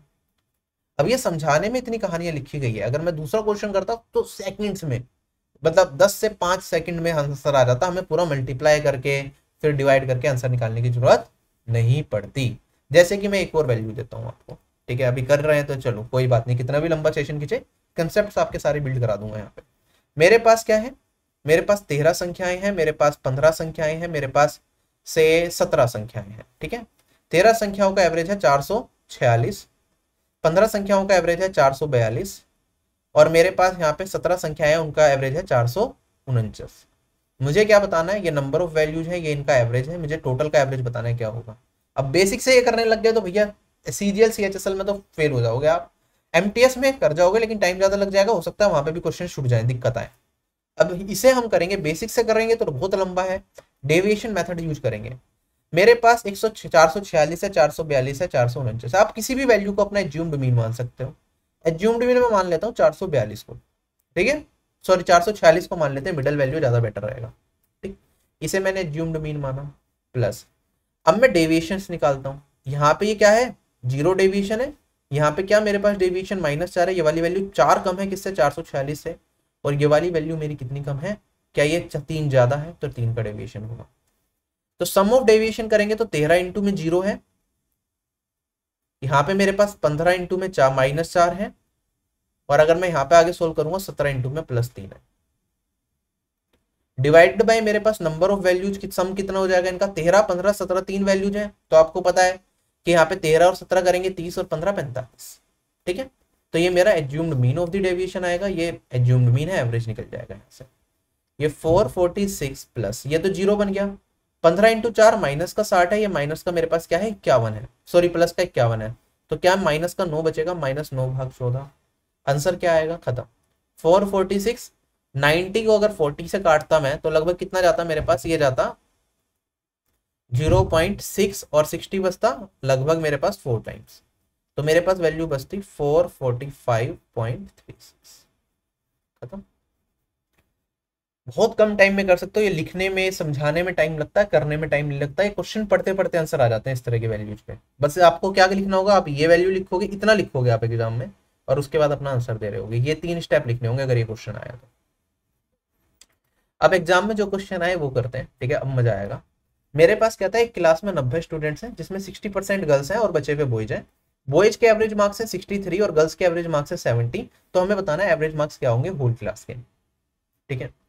अगर मैं बात करता हूँ 60 परसेंट गर्ल्स हैं। 60 परसेंट क्या होता है मेरे पास? 60 अपॉन में 100 बेसिक से चल रहा हूँ, तीन भाग पाँच। तो अगर टोटल स्टूडेंट्स क्योंकि नीचे क्या आता है, क्योंकि टोटल स्टूडेंट से कंपेयर कर रहे हैं, उसका 60 परसेंट गर्ल्स है तो ये जो टोटल स्टूडेंट्स होंगे, ये मेरे पास गर्ल्स होंगी। तो मैं कह सकता हूँ गर्ल्स अगर तीन है तो बॉयज़ कितने होंगे? क्योंकि पाँच में से तीन घटा दूँगा तो बॉयज़ दो बचेंगे रेशियो नंबर ऑफ़ स्टूडेंट्स का रेशियो मिल गया। हमें पता है एक्चुअल वैल्यू मैटर नहीं करती एवरेज के लिए सिर्फ़ रेशियो मैटर करता है। तो ये 90 स्टूडेंट्स दे रखा था, इसकी कोई ज़रूरत नहीं थी। एवरेज मार्क्स जो बॉयज़ के हैं, वो कितने दे रखे हैं? हमें तिरसठ दे रखे हैं, और जो गर्ल्स के एवरेज मार्क्स हैं, वो दे रखे हैं सत्तर। हमने सिर्फ़ कहता है पूरी क्लास के एवरेज बता दो। पूरी क्लास में नंबर ऑफ़ स्टूडेंट्स कितने हो गए? आप हो गए पाँच। ठीक है? अगर मैं एवरेज क्या मान लू पूरी क्लास का? तिरसठ मानू या सत्तर मानू? एज्यूम्ड मीन को मैं मान लेता हूँ तिरसठ। तो मेरा आंसर होगा तिरसठ प्लस डेविएशन का sum divided by number of values है कितनी? पाँच। यहाँ पे डेविएशन ज़ीरो का आएगा, यहाँ पे डेविएशन प्लस सेवन का आएगा। दो इंटू ज़ीरो तो ज़ीरो आएगा, लिखने की ज़रूरत नहीं। तीन इंटू सात करूँगा तो ये वैल्यू आ जाएगी इक्कीस। इक्कीस को पाँच से विभाजित करूँगा तो वैल्यू कितनी आएगी? Four point two four point two इसमें ऐड करूँगा तो आंसर आएगा sixty seven point two question खत्म है, मेरा ये ऑप्शन करेक्ट हो गया। डन अच्छा अगर मैं इसी क्वेश्चन में ऑप्शन से चलता तो क्या क्या देख सकते थे हम? ठीक है? सबसे पहली चीज़ तो अगर मेरे पास बॉयज़ का एवरेज इतना है गर्ल्स का एवरेज इतना है तो जो एवरेज वैल्यू होगी इनके बीच में कहीं रहेगी। तो 63 से छोटी वैल्यू नहीं हो सकती, ये वाला ऑप्शन वैसे ही कट जाएगा। ठीक है? अब हमारे पास क्या होता है, आप एक कंसेप्ट और सीखो साथ के साथ 70 है, मेरे पास 63 है। तो इसकी मिडल वैल्यू क्या होगी? इसकी मिडल वैल्यू होगी मेरे पास 70 और 63 की। सेवन है, बीच में गैप सेवन को दो से विभाजित करूँगा तो आएगा 3.5 या तो इसमें 3.5 को घटा देंगे, या इसमें 3.5 को बढ़ा देंगे। तो इनकी मिडल वैल्यू मेरे पास जो निकल के आएगी, वो वाली वैल्यू आएगी मेरे पास 66.5 ठीक है? अब हमारे पास तो जो गर्ल्स का एवरेज था, वो 70 था, ठीक है? गर्ल्स मेरी ज़्यादा है या बॉयज़ ज़्यादा है? आप कहोगे गर्ल्स तीन है बॉयज़ दो हैं। तो जहाँ लोग ज़्यादा होंगे, मेरा एवरेज उस साइड मूव करेगा? करेगा या नहीं करेगा? जहाँ ज़्यादा होंगे, मेरा एवरेज उस साइड ज़्यादा रहेगा। तो ये 66.5 था। मैं कहूँगा क्योंकि नंबर ऑफ़ गर्ल्स ज़्यादा है तो मेरा एवरेज 70 और 66.5 के बीच में कहीं रहेगा। और इनके बीच में अगर मैं चारों ऑप्शंस में चेक कर लेता तो कौन सा ऑप्शन जा रहा है मेरा? एक तो ये ऑप्शन जा रहा है और एक ये ऑप्शन ये दोनों, ये वाला ऑप्शन वैसे ही कट जाता। इन दोनों ऑप्शन में आंसर होता, फिर हमें थोड़ा वेरीफाई करना पड़ता कि कौन सा ऑप्शन करेक्ट होगा, हमारा आंसर जाएगा। ये बस एक देखने का नज़रिया बताया मैंने। कि जहाँ वैल्यू ज़्यादा होंगी एवरेज मेरा उस साइड मूव करना चला जाएगा। जैसे कि हमारे पास एक भाला होता है। मैंने एक पिवोट बनाया, यहाँ पे वेट ज़्यादा रख दिया, यहाँ पे वेट क्या रख दिया, कम रख दिया। तो ये मेरा इस साइड झुकेगा ना, ऐसे ही मेरा एवरेज क्या रहेगा, इस साइड रहेगा। क्लियर आगे बढ़ते हैं। अब सेम टाइप का क्वेश्चन है। एक क्लास में रूरल और अर्बन स्टूडेंट्स का रेशियो दे रखा है। यहाँ पे रूरल स्टूडेंट्स यहाँ पे अर्बन स्टूडेंट्स ये रेशियो दे रखा है, चार रेशियो सात। अगर मैं कहता हूँ, जो एग्ज़ाम में रूरल और अर्बन स्टूडेंट्स के एवरेज मार्क्स हैं, वो कितने हैं? पैंसठ और तिरसठ। तो रूरल के एवरेज मार्क्स कितने हैं? मेरे पास पैंसठ हैं। अर्बन स्टूडेंट्स के एवरेज मार्क्स हैं तिरसठ। ये एवरेज है, ये नंबर ऑफ़ स्टूडेंट्स हैं। पूरी क्लास के एवरेज मार्क्स बताने correct to two decimal places तो कैसे करेंगे? आप कहोगे, भैया, ये नंबर ऑफ़ स्टूडेंट्स हैं तो टोटल स्टूडेंट्स कितने हो गए? मेरे पास ग्यारह रेशियो ठीक है एवरेज बताना है तो पैंसठ और तिरसठ के बीच में रहेगा। पैंसठ और तिरसठ के बीच में तो ये कट गया, ज़्यादा चला गया, ये आगे बढ़ गया। इन दोनों में से मेरा आंसर होगा, कौन सा आंसर होगा? अब इसमें इन दोनों की मिडल वैल्यू क्या होगी? चौसठ होगी। अर्बन स्टूडेंट्स मेरे पास ज़्यादा है तो एवरेज तिरसठ और चौसठ के बीच में रहेगा आंसर आएगा मेरा तिरसठ दशमलव सात तीन, खत्म। ना भी मैंने डेविएशन लगाया, ना कुछ लगाया। मैंने कहा कि डायरेक्टली हम सोल्व करेंगे, मैंने इन दोनों की मिडल वैल्यू निकाली। फिर मैंने देखा स्टूडेंट्स किस तरफ़ ज़्यादा है अर्बन की तरफ़ ज़्यादा है तो मेरा जो एवरेज होगा, तिरसठ और चौसठ के बीच में होगा, ये मेरा इस क्वेश्चन का आंसर आ गया, खत्म हो गया क्वेश्चन बेसिक से करोगे डेविएशन मेथड लगा दो अब यहाँ पे, पूरी वैल्यू निकालनी है एग्जैक्ट तो। हम कहेंगे, छोटा वाली तिरसठ को मैं मान लेता हूँ, अपना एज्यूम्ड एवरेज तो मेरा आंसर क्या होगा, तिरसठ प्लस यहाँ पे डेविएशन ज़ीरो का, दो का, दो इंटू चार करूँगा, आठ आएगा वैल्यू कितनी है, ग्यारह में बांटेंगे तो ये वैल्यू आएगी sixty three plus zero point seven जज आएगा फिर थर्टी बनेगा तो लगभग अप्रोक्सीमेटली थ्री कह सकते हो आप। वैल्यू कितनी आएगी मेरे पास? Sixty three point seven three कुछ राइट खत्म। डन आगे बढ़ते हैं। परसेंटेज में थे ये मार्क्स मैंने डायरेक्ट लिखा था ना परसेंटेज कर लेना बात में। अब क्वेश्चन में क्या था मेरे पास? Average of eight consecutive even numbers written in ascending order is 17 what is the average of the last three numbers 36 and 53 ठीक है, ये थोड़ी स्टेटमेंट इन्होंने कंफ्यूजिंग सी बनाई हुई है, बड़े ध्यान से समझेंगे इस क्वेश्चन को। पहले तो आठ कंजुगेटिव इवन नंबर्स अगर असेंडिंग ऑर्डर में मैं लिख दूँ तो उनका एवरेज दे रखा है हमें कितना? सत्रह। ठीक है? अगर एवरेज सत्रह है, मेरे पास आठ नंबर्स हैं। अगर कॉन्जुगेटिव इवन नंबर्स हैं तो ये एपी सीरीज़ बनाएँगे। अर्थमेटिक प्रोग्रेशन की सीरीज़ होगी या नहीं होगी? चार, पाँच, छह, सात, आठ। मैंने बॉक्स बना लिया। अगर अर्थमेटिक प्रोग्रेशन की सीरीज़ है और इवन नंबर है तो गैप कितने कितने का होगा? दो दो का गैप होगा। सभी वैल्यूज़ के अंदर। एवरेज क्या होता है? क्या एवरेज मेरी मिडल वैल्यू होती है? यही समझाया मैंने। अगर मेरे पास यहाँ पे आठ नंबर हैं तो चौथा नंबर और ये पांचवा नंबर है, यहाँ पे जो एवरेज होगा, इन दोनों का भी एवरेज होगा, ये दोनों मेरी मिडिल वैल्यू है, इनका एवरेज निकालेंगे तो इनका जो एवरेज होगा, वो मुझे दे रखा है सत्रह, ठीक है? अब इनके बीच में गैप कितने का है? क्या दो का है? तो मैं कहूँगा जो ये वाली वैल्यू होगी, इससे एक कम होगी और ये वाली वैल्यू एक ज़्यादा होगी, ये वाली वैल्यू मेरे पास कितनी होगी? सोलह होगी और ये वाली वैल्यू मेरे पास कितनी होगी? अट्ठारह होगी, क्यों? इन दोनों का एवरेज निकालोगे, सोलह और अठारह का, तभी तो सत्रह आएगा ना भैया? तो हमने क्या करा, ये मिडल वैल्यू होगी इनका एवरेज था तो इन दोनों का एवरेज मेरे पास सत्रह था। तो मैंने कहा, इनके बीच में गैप दो का है तो मेरे पास वैल्यू क्या आएगी? अगर मैं इसे मान लेता, चलो ए मान लेता इस वाले टर्म को, अगर बेसिक से देखें, ये ए मान लेता, ये वाले टर्म को मैं मानता ए प्लस टू इसका एवरेज निकालता तो ये किसके बराबर? सत्रह के बराबर। सत्रह दूनी चौंतीस माइनस दो करता तो बत्तीस आता। टू ए मेरा किसके बराबर? बत्तीस के बराबर ए की वैल्यू आ जाती सोलह। ठीक है? ऐसे कर सकते थे। वरना दो का गैप है इनका एवरेज निकालना तो मिडल वैल्यू क्या होगी? दो का गैप होता तो एक। तो यहाँ पे एक और यहाँ पे एक। अगर मैं कहूँगा ये एवरेज होगा सत्रह, ये एक कम होगा, ये एक ज़्यादा होगा। ठीक? दोबारा रिमाइंड करके देखना, समझ आ जाएगा। थोड़ा सा सोचना बस इस पर तो मेरे पास ये वाली वैल्यू निकल गई। आगे बढ़ेंगे दो तो ये वाली संख्या होगी बीस, ये वाली संख्या होगी बाईस और ये वाली संख्या होगी चौबीस। हमसे पूछा एवरेज बता दो लास्ट के तीन नंबर और छत्तीस और तिरपन का। तो लास्ट के तीन नंबर है बाईस सॉरी बीस, बाईस, चौबीस और उसके बाद छत्तीस और तिरपन, इनका एवरेज बताना है। तो कितनी संख्या हो गई? पाँच संख्या ही हो गई और डिवाइडेड बाय फाइव कर देंगे। आंसर आ जाएगा क्या बना सम देखो, बीस, बाईस और चौबीस तो बन गया छियासठ छियासठ में ये जोड़ूँगा। तो ये वाली बन गई एक सौ दो, और एक सौ दो और तिरपन, एक आंसर आ गया, इकतीस क्वेश्चन हो गया खत्म। आगे बढ़ते हैं।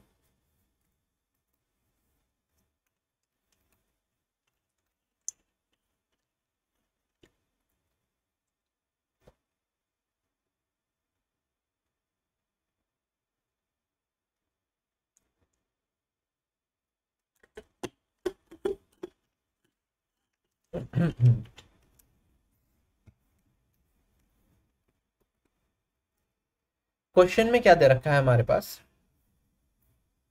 Some children in a camp कुछ चिल्ड्रंस हैं एक कैंप के अंदर, जिनका एवरेज वेट है फोर्टी के जी ठीक है? पाँच चिल्ड्रन जिनका एवरेज वेट थर्टी सिक्स के जी है कैंप को ज्वाइन करते हैं, और पाँच चिल्ड्रन जिनका average weight forty three point two K G है कैंप को लीव करके चले जाते हैं। जो एवरेज वेट है ना चिल्ड्रन का इन बोथ दी केसेस दोनों केसेस के अंदर हमारा इक्वल रहता है। तो हमें बताना है how many children are there in the camp initially initially मेरे पास कैंप के अंदर कितने बच्चे रहे होंगे? ठीक? अगर मैं सोल्व करना स्टार्ट करता हूँ इसे, ध्यान से समझेंगे, बहुत अच्छा क्वेश्चन काफ़ी लोग बोल रहे थे क्वेश्चन ही गलत है। ठीक है? क्योंकि कुछ स्टेटमेंट ही समझ नहीं आई। ठीक है? तो ध्यान से करेंगे सोल्व करते हैं। मेरे पास एक कैंप के अंदर कुछ बच्चे हैं जिनका एवरेज दे रखा है फोर्टी के तो मैं कह सकता हूँ इनिशियली मेरे पास कैंप के अंदर एन स्टूडेंट्स हैं। उनका एवरेज फोर्टी है तो सम कितना हो जाएगा? एन इंटू फोर्टी ठीक है? अब पाँच चिल्ड्रन जिनका एवरेज वेट थर्टी सिक्स के है, वो कैंप को ज्वाइन कर लेते हैं। तो कैंप को ज्वाइन कर लेंगे तो वेट मेरा कितने से बढ़ जाएगा? पाँच चिल्ड्रन ज्वाइन करा, उनका एवरेज वेट था छत्तीस तो इतने किलो से मेरा टोटल वेट बढ़ जाएगा कैंप का। ठीक है? तो अब मेरे पास जो कैंप के टोटल जो लोग हैं, उनका वेट आ गया इतना। कहता है, या तो ऐसा हो कि पाँच लोग जिनका एवरेज वेट छत्तीस है, वो कैंप को ज्वाइन कर लें, या फिर ऐसा हो, पाँच चिल्ड्रन जिनका average weight forty three point two K G है, वो कैंप को छोड़ के चले जाए। तो अगर मैं बात करता हूँ यहाँ पे, मेरे पास नंबर ऑफ़ स्टूडेंट्स को एन माना है टोटल वेट कैंप में सभी स्टूडेंट्स का इतना है। अगर पाँच लोग छोड़ के चले जाएँगे जिनका average weight forty three point two K G है तो मेरे कैंप में जो बच्चे बचे होंगे, उनका वेट इतना होगा। तो दोनों केसेस के अंदर मेरा जो एवरेज वेट है ना चिल्ड्रन का, वो मेंटेन रहता है, ठीक है? अगर मैं एवरेज वेट की बात करूँ, यहाँ पे एवरेज कितना होगा? पहले मेरे पास एन लोग थे कैंप के अंदर, और यहाँ पे क्या हो गया? पाँच लोगों ने और ज्वाइन करा तो नंबर ऑफ़ स्टूडेंट्स कैंप के अंदर कितने हो जाएँगे? एन प्लस फाइव हो जाएँगे। तो सम से मैंने नंबर ऑफ़ वैल्यूज़ को डिवाइड कर दिया तो मेरे पास बन गया ये एवरेज जो नया एवरेज आएगा वो। अब सेकंड केस में क्या होगा? जब पाँच स्टूडेंट्स 43.2 केजी वेट वाले छोड़ के चले गए कैंप को तो मेरे पास जो एवरेज आएगा नया, वो आएगा यहाँ पे एन माइनस फाइव पहले एन थे, पाँच छोड़ के चले गए, इतने लोग बचे हैं, उनका टोटल वेट इतना है तो एवरेज होगा इतना। ये दोनों एवरेज मुझे बराबर दे रखे हैं। क्या इक्वेशन बन गई मेरे पास? अब मुझे सोल्व करके ये बताना है कि भैया एन की वैल्यू बता दो कि एन की वैल्यू क्या है? नंबर ऑफ़ स्टूडेंट्स कितने थे कैंप के अंदर इनिशियली बच्चे कितने थे? सोल्व करेंगे। अब सोल्व करने के लिए क्या करें भैया? कंपोनेंडो एंड डिविडेंडो का सहारा लेंगे। कंपोनेंडो एंड डिविडेंडो कैसे लगाएँगे? क्या मैं एन प्लस फाइव को इधर ले जा सकता हूँ? मैं क्या करता हूँ, ये n इंटू फोर्टी ये फोर्टी एन लिख सकता हूँ plus five into thirty six करूँगा तो ये बन जाएगा वन एट्टी ऐसे ही डिवाइडेड बाई मेरे पास फोर्टी एन है, और यहाँ पे अगर मैं माइनस का साइन लगा दूँ तो ये वाली वैल्यू हो जाएगी five into forty three point two तो फाइव से मल्टीप्लाई करना है तो मैं ऊपर नीचे टू से मल्टीप्लाई और डिवाइड कर सकता हूँ टू से डिवाइड कर दो और दस से गुना करूँगा फोर थर्टी टू भाग दो करूँगा तो ये वैल्यू हो जाएगी टू वन सिक्स डन ये आएगा N plus five divided by N minus five अभी क्रॉस मल्टीप्लाई करूँगा क्वाड्रेटिक इक्वेशन बढ़ेगी, फालतू में लंबा चौड़ा काम फैलेगा। इससे बढ़िया है कॉम्पोनेंडो एंड डिविडेंडो हम लगा सकते हैं। चाहो तो आप दोनों लगाओ, वरना मैं कहता हूँ खाली डिविडेंडो लगा लो। डिनोमिनेटर से मेरा इन कैंसिल हो जाए, इतना ही काफ़ी है। तो मैं यहाँ पे परफॉर्म करता हूँ डिविडेंडो ऑपरेशन अब डिविडेंडो ऑपरेशन क्या होता है, एक एग्ज़ाम्पल से समझाता हूँ। मेरे पास एक नंबर है, तीन भाग पाँच, और एक नंबर है, पंद्रह नौ भाग पंद्रह। क्या दोनों नंबर सेम है? बिल्कुल सेम है। अब मैं क्या करता हूँ यहाँ पे? हम्म इसे रेसिप्रोकल कर लेते तो ज़्यादा सही रहता। चलो, कोई दिक्कत नहीं, इसे ऐसे ही रखते अब मैं क्या करूँ, यहाँ पे डिविडेंडो ऑपरेशन का मतलब क्या होता है? कि मैं इस वाली वैल्यू में से न्यूमरेटर में से डिनोमिनेटर को घटा दूँ नीचे वाली साइड न्यूमरेटर को एडिटर रहने देते हैं। थ्री और नाइन को मैंने एडिटर रहने दिया। यहाँ पे मैंने क्या करा थ्री में से क्या घटाया? फाइव को घटाया। और यहाँ पे मैंने क्या करा, यहाँ पे नाइन में से फिफ्टीन को घटाया। क्या देखो रिज़ल्ट अब मेरा सेम आ रहा है क्या? अब भी यह आएगा तीन भाग माइनस दो, और यहाँ पे रिज़ल्ट आएगा मेरे पास नौ भाग। माइनस का छः इसे मैं काट दूँगा तीन से तो ये बचेगा तीन भाग माइनस दो। क्या रिज़ल्ट अब भी सेम है? इसी ऑपरेशन को हम बोलते हैं डिविडेंड ऑपरेशन ठीक है? तो हम क्या करेंगे? न्यूमरेटर को छेड़ेंगे नहीं न्यूमरेटर को एडिटिव रखते हैं। ये आएगा मेरे पास forty N plus one eighty denominator में क्या करेंगे? न्यूमरेटर में से डिनोमिनेटर को घटा दूँगा। अगर इसमें से ये घटाऊँगा तो मेरे पास क्या बचेगा? One eighty plus two one six आ जाएगा ये। और ये वाली वैल्यू बन जाएगी मेरे पास थ्री नाइनटी सिक्स अगर इधर लगाऊँगा तो numerator as it is N plus five है। डिनोमिनेटर कितना हो जाएगा? एन प्लस फाइव में से एन माइनस फाइव को घटाया तो ये बचेगा दस। डन अब इस क्वेश्चन को आगे सोल्व कर लेते हैं क्रॉस मल्टीप्लाई करके। या तो आप इसे काट दो। इसे दो से काट सकता हूँ, ये पाँच आ जाएगा, ये वो आ जाएगा, वरना दस ही रहने दो। पाँच से मल्टीप्लाई करने में फिर दस से कंफ्यूज करेंगे। क्रॉस मल्टीप्लाई करते हैं। दस इंटू फोर्टी एन तो ये चार सौ एन बनेगा। यहाँ पे मेरे पास अट्ठारह सौ बनेगा। ये किसके बराबर होगा? थ्री नाइनटी सिक्स एन लिख रहा हूँ, वरना आप एग्ज़ाम में मन मन में करना है कैलकुलेशन प्लस इसे अगर मैं पाँच से गुना करूँगा तो अगेन मैं आधे से डिवाइड कर सकता हूँ। टू से डिवाइड और एक ज़ीरो लगा दूँगा। तो ये आएगा मेरे पास वन नाइनटी एट तो वन नाइन एट ज़ीरो बन गया। थ्री नाइनटी सिक्स एन को यहाँ पे घटाया तो मेरे पास फोर एन बचेगा। और ये वाली वैल्यू यहाँ पे घटाऊँगा तो एक सौ अस्सी और एन की वैल्यू आ गई पैंतालीस। क्वेश्चन हो गया मेरा खत्म। क्लियर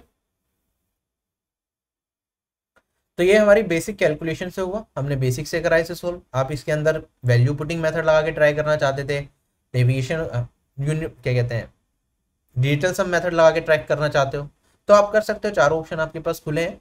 लेकिन मैं रिकमेंड करूँगा कि आप बेसिक से जाएँ तो भी कोई प्रॉब्लम नहीं है इस क्वेश्चन के अंदर। ठीक है? अच्छा क्वेश्चन था। नया क्वेश्चन था। एग्ज़ाम में फिर से रिपीट हो सकता है। एमटीएस में खास तौर पर लैंग्वेज ट्विस्टर बहुत आते हैं। इस तरह के क्वेश्चन ज़रूर मिलेंगे, क्योंकि वहाँ पे वो चाहता है कि आपके कंसेप्ट क्लियर है, नहीं, ये पता हो। नेक्स्ट क्वेश्चन पे चलते हैं। क्वेश्चन में कहता है मेरे पास? जो एवरेज स्कोर है ना फोर्टी स्टूडेंट्स का एक क्लास में वो है पैंतालीस। बाद में ये पाया गया कि एट टू प्लेसेस दो जगहों पे 25 को गलती से हमने 35 रीड कर लिया था। और एक प्लेस पे हमने 38 को रीड कर लिया था 32 हमें बताना है एक्चुअल एवरेज क्या होगा पूरी क्लास का। ठीक है? बेसिक से ही बता रहा हूँ मैं, उसके बाद फिर डायरेक्ट भी देख सकते हैं, वो भी देख लेंगे। मैंने कहा, अगर मेरे पास 40 स्टूडेंट है, उनका एवरेज था 45 तो सम कितना होगा? आप कहोगे 40 इंटू पैंतालीस। क्या ये मेरा क्या आएगा? ये मेरा इनकरेक्ट सम आएगा। अगर मैं करेक्ट सम की बात करूँ करेक्ट सम निकालते हैं यहाँ पे तो हमें क्या करना पड़ेगा? बाद में ये पाया गया कि दो जगहों पे 25 को हमने 35 रीड कर लिया था। तो यहाँ पे हम क्या करेंगे? क्या मैंने दो जगहों पे 10 एक्स्ट्रा रीड कर लिया? तो अगर मैं यहाँ पे दो जगहों पे 10 को घटा दूँ तो कहीं ना कहीं मैं करेक्ट वैल्यू के आसपास पहुंचूँगा। फिर आगे कहता है कि एक जगह पे मैंने क्या करा 38 को गलती से 32 रीड कर लिया। अगर 38 को 32 रीड कर लिया तो क्या होगा? मुझे 38 रीड करना था तो मैंने क्या करा? कम, छह कम रीड करा, ठीक है? तो जो मेरी करेक्ट एवरेज वैल्यू होनी चाहिए, जो करेक्ट सम होना चाहिए, वो छह से बढ़ना चाहिए।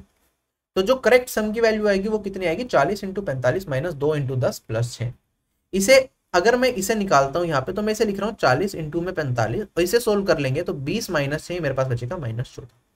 अब मुझे क्या बताना है? करेक्ट एवरेज बताना है। एवरेज बताना है तो टोटल नंबर ऑफ़ स्टूडेंट्स कितने थे? चालीस तो चालीस से विभाजित करना पड़ेगा। तो आंसर कितना आएगा मेरा? करेक्ट एवरेज में। चालीस से चालीस कट जाएगा, पैंतालीस एडिटिव ये फोर्टीन बाय फोर्टी आएगा। इसे सोल्व करके आप अपना आंसर बता सकते हो कौन सा आंसर है। क्वेश्चन हो जाएगा खत्म, इसे काटूँगा, यहाँ पे दो से कटा, सात भाग बीस, और ये वाली वैल्यू हो जाएगी point three five three five घटाऊँगा तो फोर्टी फोर पॉइंट सिक्स ये आंसर आएगा। अच्छा अब छोटी छोटी चीज़ें हम उसमें और देखते हैं थोड़ा सा, कि हम डायरेक्टली कैसे सोचते हैं, और फिर ऑप्शन पे भी जा सकते हैं। मैंने कहा यहाँ पे कि देखो, भैया टोटल सम में कितने का फ़र्क पड़ा? टोटल सम में आपको ये दिख गया कि 20 यहाँ पे कम होगा और 6 बढ़ेगा तो मेरे पास जो टोटल सम है वो 14 से डिक्रीज होने वाला है, ठीक है? 14 से डिक्रीज होगा टोटल सम तो एवरेज में टोटल नंबर ऑफ़ स्टूडेंट्स कितने हैं? फोर्टी तो ये चौदह क्या होगा? चालीस स्टूडेंट्स में जब बटेगा तो हर एक स्टूडेंट से कितना कम किया जाएगा? आप कहोगे चौदह भाग चालीस और ये वाली वैल्यू आएगी मेरे पास माइनस थ्री पॉइंट फाइव तो हर एक स्टूडेंट से मुझे साठ minus three zero point three five मुझे क्या लेना है? वापिस लेना है। तो पहले एवरेज कितना था? मेरा फोर्टी फाइव था तो जो नया एवरेज हो जाएगा, वो हो जाएगा minus three point zero point three five ये आएगा forty four point six five तो हम डायरेक्टली एग्ज़ाम में ये लिखते हैं। ठीक है? एग्ज़ाम में ये वाला पूरा नहीं लिखते, बस इतना लिखते हैं कि हमने देखा टोटल में कितना फ़र्क आया? एवरेज में हर एक वैल्यू पे कितना आएगा? एवरेज का कंसेप्ट बस यही कहता है कि हम सारी वैल्यूज़ को क्या मान लेते हैं? पैंतालीस। जैसे यहाँ पे चालीस स्टूडेंट्स का एवरेज पैंतालीस था तो मैंने सभी संख्याओं को क्या मान लिया? पैंतालीस पैंतालीस मान लिया। अब मेरे पास जो टोटल सम है, वो चौदह कम हो गया तो मैं कहूँगा हर एक वैल्यू मेरी कितनी होगी? साढ़े तीन zero point three five zero point three five कम हो जाएगी। तो नया एवरेज कितना आ जाएगा? Forty five minus zero point three five that is forty four point six five ठीक है? कुछ लोगों को थोड़ी सी दिक्कत आ रही होगी समझने में तो आपको वीडियो को रिवाइंड करके दोबारा देखना है, सोचना है इस पर बैठ के। एवरेज को जितना ज़्यादा सोचोगे, उतना ज़्यादा समझ आएगा। इजी कंसेप्ट नहीं है एवरेज आसान चैप्टर नहीं है बिल्कुल, ठीक है? बेसिक से करोगे तो वही एक लाइन है, ठीक है? सम ऑफ़ ऑब्जर्वेशन को इक्वल करते रहो, आपका आंसर आता रहेगा, कोई रोक नहीं सकता। लेकिन अगर कम टाइम में क्वेश्चन को सोल्व करना है तो थोड़ी मेहनत लगेगी। चलते हैं आगे। अब इसी क्वेश्चन को बिल्कुल जो अभी तरीका बताया, वही यूज़ करेंगे। क्वेश्चन में कहता है एक एग्ज़ाम में एक स्टूडेंट का एवरेज स्कोर था 67.6 ठीक है एवरेज स्कोर उसका था 67.6 कहता है कि अगर वो क्या कर लेता 27 नंबर मैथ्स में ज़्यादा लिया था 10 नंबर कंप्यूटर साइंस में ज़्यादा लिया था और 18 नंबर हिस्ट्री में ज़्यादा लिया था तो जो उसका एवरेज स्कोर हो जाता, वो कितना हो जाता? वो हो जाता उसका 72.6 तो हमें बताना है कितने पेपर थे एग्जामिनेशन में। ठीक है? तो कैसे करेंगे? बेसिक से अगर हम देखते हैं तो मैं कहूँगा seventy six point sixty seven point six पहला एवरेज था, मैं मान लेता हूँ स्टार्टिंग में एन पेपर थे। तो सम बनेगा इतना, ठीक है? अब अगर कुछ सब्जेक्ट्स में उसके इतने इतने नंबर बढ़ जाते, जैसे कि मैंने कहा कि सत्ताईस नंबर मैथ्स में बढ़ जाते, दस नंबर साइंस में बढ़ जाते और अट्ठारह नंबर मेरे हिस्ट्री में बढ़ जाते तो नया सम मेरा इतना होता। नया एवरेज दे रखा है सेवेंटी टू पॉइंट सिक्स तो सम कितना होगा नया? इसके बराबर होगा और नंबर ऑफ़ सब्जेक्ट कितने थे? एन क्या ये मेरे पास दोनों जगह न्यू सम आ गया? ये हो गया बेसिक सोल्व करके हम यहाँ से एन की वैल्यू निकाल लेंगे। आप कहोगे यहाँ पे एन को कॉमन ले लेता हूँ, मेरे पास बचेगा यहाँ पे 72.6 में से हमने 67.6 को घटाया तो बचेगा पाँच। और यहाँ पे वैल्यू कितनी आएगी? 27 जमा दस सैंतीस और 18 को जोड़ेंगे तो ये वैल्यू बनेगी पचपन और एन की वैल्यू आ गई मेरे पास ग्यारह। क्वेश्चन हो गया, खत्म।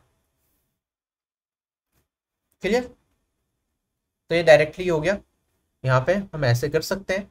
वरना आप देख सकते थे, अगर मैं ओरली सोचता इसे थोड़ा सा तो मैं कहता मेरे पास जो मार्क्स बढ़े हैं, क्योंकि तीन सब्जेक्ट में टोटल मिला के सत्ताईस, अट्ठारह और दस मार्क्स बढ़े हैं तो इन तीनों का सम करा तो मैंने कहा ये पचपन मार्क्स बढ़े हैं मेरे।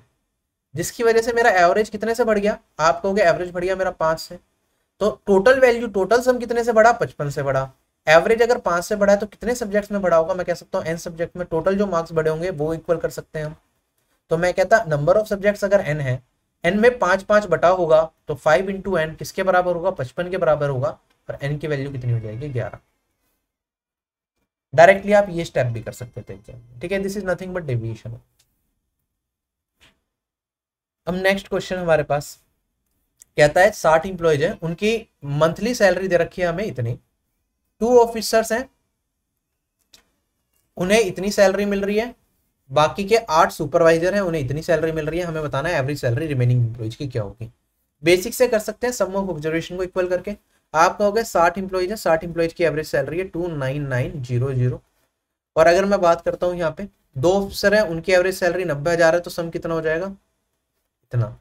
आठ सुपरवाइजर है एवरेज सैलरी है इतनी तो ये हो जाएगा आठ इंटू में सिक्सटी फाइव थाउज़ेंड और अगर मैं बात करता हूँ, बचे हुए इंप्लॉयज कितने होंगे? साठ इंप्लॉयज थे, दो हो गए, आठ हो गए, दस इंप्लॉयज हो चुके हैं। तो साठ में से दस घटाऊँगा, पचास इंप्लॉयज बचे, उनकी एवरेज सैलरी बतानी है तो उसे मान लेता हूँ एक्स सोल्व करके एक्स की वैल्यू बतानी है यूनिट डिजिट से नहीं हो पाएगा, सबकी यूनिट डिजिट सेम है। लास्ट सेकंड लास्ट डिजिट से भी नहीं हो पाएगा तो पूरा सोल्व करना ही पड़ेगा लास्ट थर्ड डिजिट पे जाना पड़ेगा, उसमें भी दो का सेम है। तो फंस सकते हैं। इससे बेटर है कि हम पूरा का पूरा बेसिक से सोल्व करें। अच्छा हम क्या कर सकते हैं इस क्वेश्चन में? देखो, पचास तो सब जगह कॉमन आ रहा है तो पचास से काटूँगा, यहाँ पे दो ज़ीरो कट जाएगी, सौ काटा, दो से मल्टीप्लाई कर दिया। यहाँ पे दो ज़ीरो काटी, दो से मल्टीप्लाई कर दिया, यहाँ पे दो ज़ीरो काटी और दो से मल्टीप्लाई कर दिया, कोई दिक्कत यहाँ तक नहीं। साठ इंटू में दो, एक सौ बीस होगा। एक सौ बीस को इसमें गुना करना पड़ेगा। ये वैल्यू होगी मेरे पास दो इंटू दो चार चार इंटू नौ छत्तीस छत्तीस सौ। ये वाली वैल्यू होगी, पैंसठ इंटू में आठ से गुना करनी है और फिर दो से। आठ दूनी सोलह को पैंसठ से गुना कर दूँ। पैंसठ को अगर मैं दो से गुना करता तो वैल्यू आती है एक सौ तीस। एक सौ तीस मतलब तेरह तेरह को आठ से करूँगा तो एक सौ चार। तो मेरे पास यहाँ पे 104 तो ये आएगा और एक ज़ीरो और बनेगी और एक ज़ीरो और बनेगी, ठीक है? और ये आएगा एक्स सोल्व करके आंसर बता सकते हैं। या तो आप इसे 300 सौ माइनस एक कर सकते हो कैलकुलेशन को अगर शॉर्ट करना चाहो, वरना बारह का ही तो टेबल है भैया यूज़ कर लो मल्टीप्लाई कर दो, बारह का टेबल सबको आता है है ना? तो बारह को अगर मैं यहाँ पे ज़ीरो आएगा, बारह निम्मा अगर मैं करूँगा तो मेरे पास वैल्यू बचेगी यहाँ पे एक सौ आठ, एक सौ अट्ठारह, ग्यारह कैरी फॉरवर्ड बारह दूनी चौबीस और ग्यारह पैंतीस। इसमें से छत्तीस सौ और इसका सम कर दूँगा तो ये मेरे पास आ जाएगा चौदह हज़ार। एक्स की वैल्यू कितनी आ गई? ये आ गया इक्कीस हज़ार आठ सौ अस्सी। Option number D is correct done क्या इस क्वेश्चन को डेविएशन से किया जा सकता है? किया जा सकता है। आप डेविएशन लगा सकते हो। ये बेसिक क्वेश्चन था। वैल्यूज़ में बहुत ज़्यादा ज़्यादा गैप था तो डेविएशन रिकमेंडेड नहीं है इस क्वेश्चन के लिए, क्योंकि बहुत ज़्यादा ज़्यादा गैप है। ठीक है? लेकिन चाहे तो हम इसे डेविएशन से कर सकते हैं, कोई प्रॉब्लम नहीं है। एक बार डेविएशन से आपको करके दिखाता हूँ, लेकिन वो एक अच्छा एग्ज़ाम्पल सेट नहीं होगा आप लोगों के लिए, आपको लगेगा डेविएशन से मुश्किल हो जाते हैं क्वेश्चन जबकि ऐसा नहीं है, ठीक है? तो अगर मैं डेविएशन से करता तो कैसे करता? मैंने मिटा दिया फ़िलहाल। या फिर इसे रखते हैं यहाँ पे। नेक्स्ट पेज पे करता हूँ।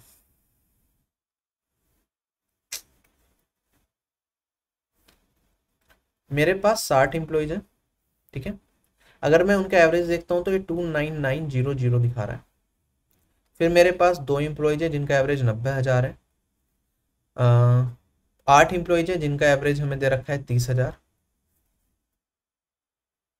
पैंसठ हज़ार सॉरी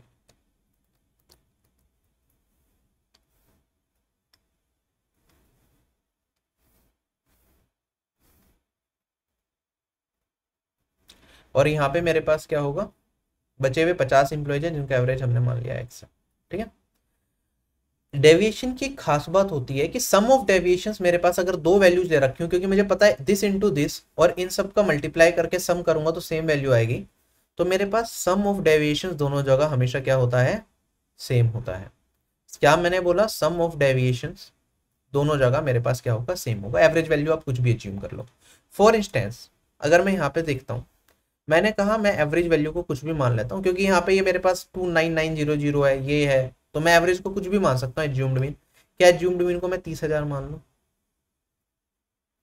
अगर एज्यूम्ड मीन मैंने तीस हज़ार रखा तो आप कहोगे यहाँ पे मेरे पास जो एवरेज होगा निकल के आएगा इसका। आप कहोगे एज्यूम्ड मीन अगर इतना है तो एवरेज होता है मेरे पास एज्यूम्ड मीन प्लस यहाँ पे sum of mean of deviations sum of deviations divided by number of observation या फिर मैं बोल सकता था मीन ऑफ़ द डेविएशन ठीक है? ये मेरे assumed mean of the deviation ठीक है एज्यूम्ड वाला अपने आप लगा लेना। अगर मैं इस साइड करता तो इस साइड भी कह सकता था, मेरा जो एज्यूम्ड एवरेज है एज्यूम्ड मीन प्लस जो एवरेज होगा sum of the deviation divided by number of observation ही होगा। अगर मैंने एज्यूम्ड मीन क्योंकि एवरेज दोनों साइड सेम ही है, तभी तो सम भी दोनों साइड सेम होगा, क्योंकि नंबर ऑफ़ वैल्यूज़ सेम है। एवरेज क्या होता है? नंबर ऑफ़ वैल्यूज़ इनटू में एवरेज यहाँ पे एवरेज ही है, यहाँ पे नंबर ऑफ़ वैल्यूज़ कितनी है? टू है, फिर ये मेरे पास ए वन मान लो। एवरेज ये मेरे पास एन वन मान लो, ये ए टू मान लो, ये एन टू मान लो, और ये ए थ्री मान लो, ये एन थ्री मान लो। सम ऑफ़ ऑब्जर्वेशन दोनों जगह इक्वल है ना मेरे पास? तो मैं क्या कर सकता हूँ? मैं ये कह सकता था यहाँ पे कि सर दोनों जगह अगर मेरे पास ये क्या कहते हैं?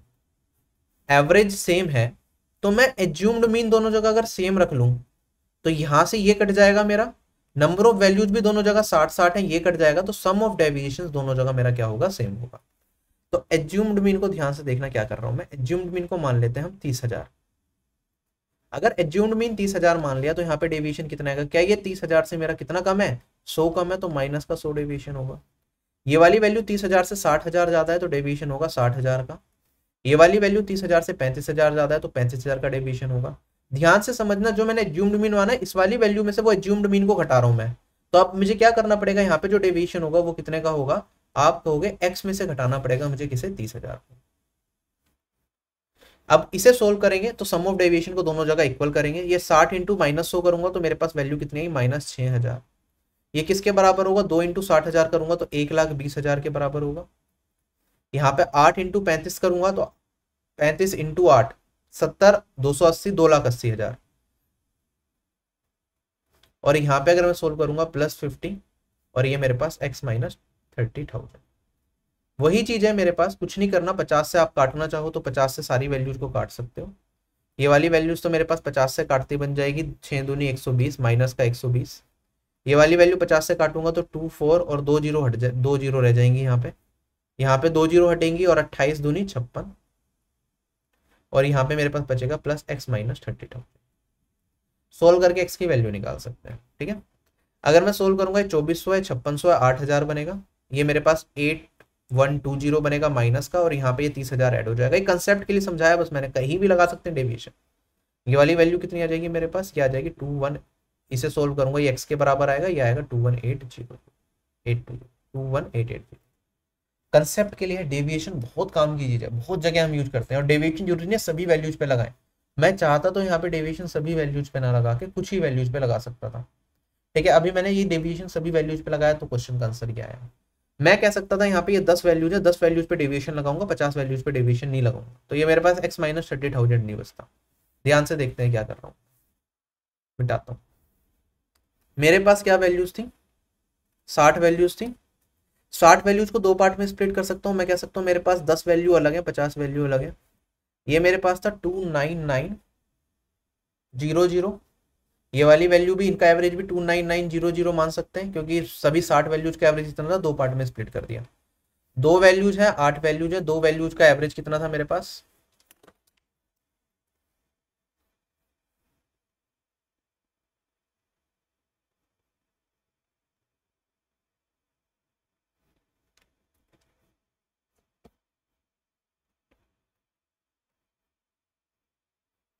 गलती से विंडो बंद हो गई थी यार, एक सेकंड बस।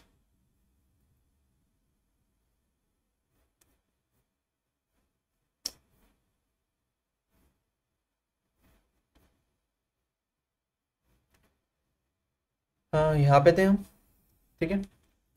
दो वैल्यूज़ का एवरेज हमें दे रखा था कितना?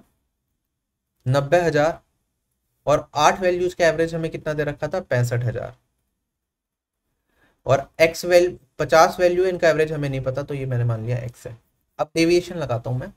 मैं क्या करूँगा? पार्शियल डेविएशन लगाऊँगा। जितनी वैल्यूज़ पे यहाँ पे डेविएशन लगाएँगे, उतनी वैल्यूज़ पे यहाँ पे डेविएशन लगाएँगे। और बाकी वैल्यूज़ को छोड़ देते हैं खाली। पचास पचास को छोड़ देते हैं, इस पर मैं डेविएशन नहीं लगा रहा।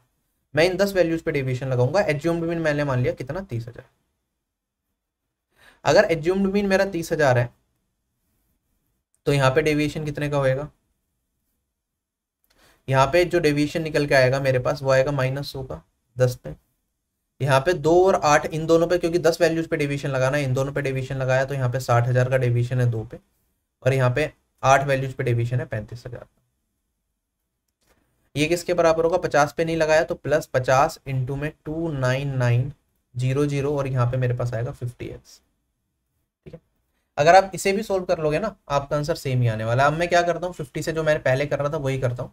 फिफ्टी से इसे डिवाइड करता हूँ। फिफ्टी से काटा। ये मेरे पास इनटू सॉरी यहाँ पे डेविएशन निकाला है तो मैंने पूरा यहाँ पे करा नहीं। यहाँ पे इस पे डेविएशन नहीं लगाया तो मेरे पास एग्जैक्ट रखा था। Just give me a second तो यहाँ पे मैंने कुछ डेविएशन लगाया, बस इन तीन वैल्यूज़ इन दस वैल्यूज़ पे डेविएशन लगाया। तो सम कितना आएगा? सम ऑफ़ डेविएशन यहाँ पे आएगा मेरे पास दस इंटू में माइनस सौ माइनस का हज़ार बनेगा। ये इज़ यूज़ करना है तो सम इसे एग्जेक्टिवली यूज़ करेंगे। पचास इंटू में two nine nine zero zero ये मैंने दो पे साठ हज़ार तो ये एक लाख बीस हज़ार आएगा। ये मेरे पास अभी सोल्व करा था, ये आया था मेरे पास दो लाख अस्सी हज़ार। प्लस में मैं लिख रहा हूँ फिफ्टी एक्स। देखते हैं एक्स की वैल्यू निकलती है नहीं निकलती। अगर मैं यहाँ से पचास से काट दूँ, कट जाएगा। यहाँ पे दो ज़ीरो हटेंगी, दो से गुना हो जाएगा। यहाँ पे दो ज़ीरो हटेंगी, दो से गुना हो जाएगा। यहाँ पे पचास कट जाएगा और यहाँ पे मेरे पास दो ज़ीरो हटेंगी, दो से गुना हो जाएगा। तो ये बचेगा माइनस बीस। ये बचेगा मेरे पास two nine nine zero zero. बहुत अल्टीमेट चीज़ सीख रहे हैं हम यहाँ पे। ये होगा 240 ये होगा मेरे पास 2800 सौ इंटू में दो सॉरी 2400 होगा। ये वाली वैल्यू मेरे पास होगी छप्पन सौ और ये वाली वैल्यू होगी प्लस एक्स अब देखो क्या वही आंसर आ रहा है मेरा। ये मेरे पास two nine nine zero zero है। इसमें से ये आठ हज़ार को घटाऊँगा तो two one nine zero zero होगा और उसमें से बीस को घटा दूँगा तो एक्स की वैल्यू आ जाएगी मेरे पास टू वन एट एट बहुत इंटरेस्टिंग कंसेप्ट मैंने आपको समझाया है यहाँ पे कि डेविएशन हम पार्शियल भी लगा सकते हैं फुल डेविएशन लगाने की ज़रूरत नहीं है, ठीक है? तो मैंने कुछ वैल्यूज़ पे डेविएशन लगाया अपना।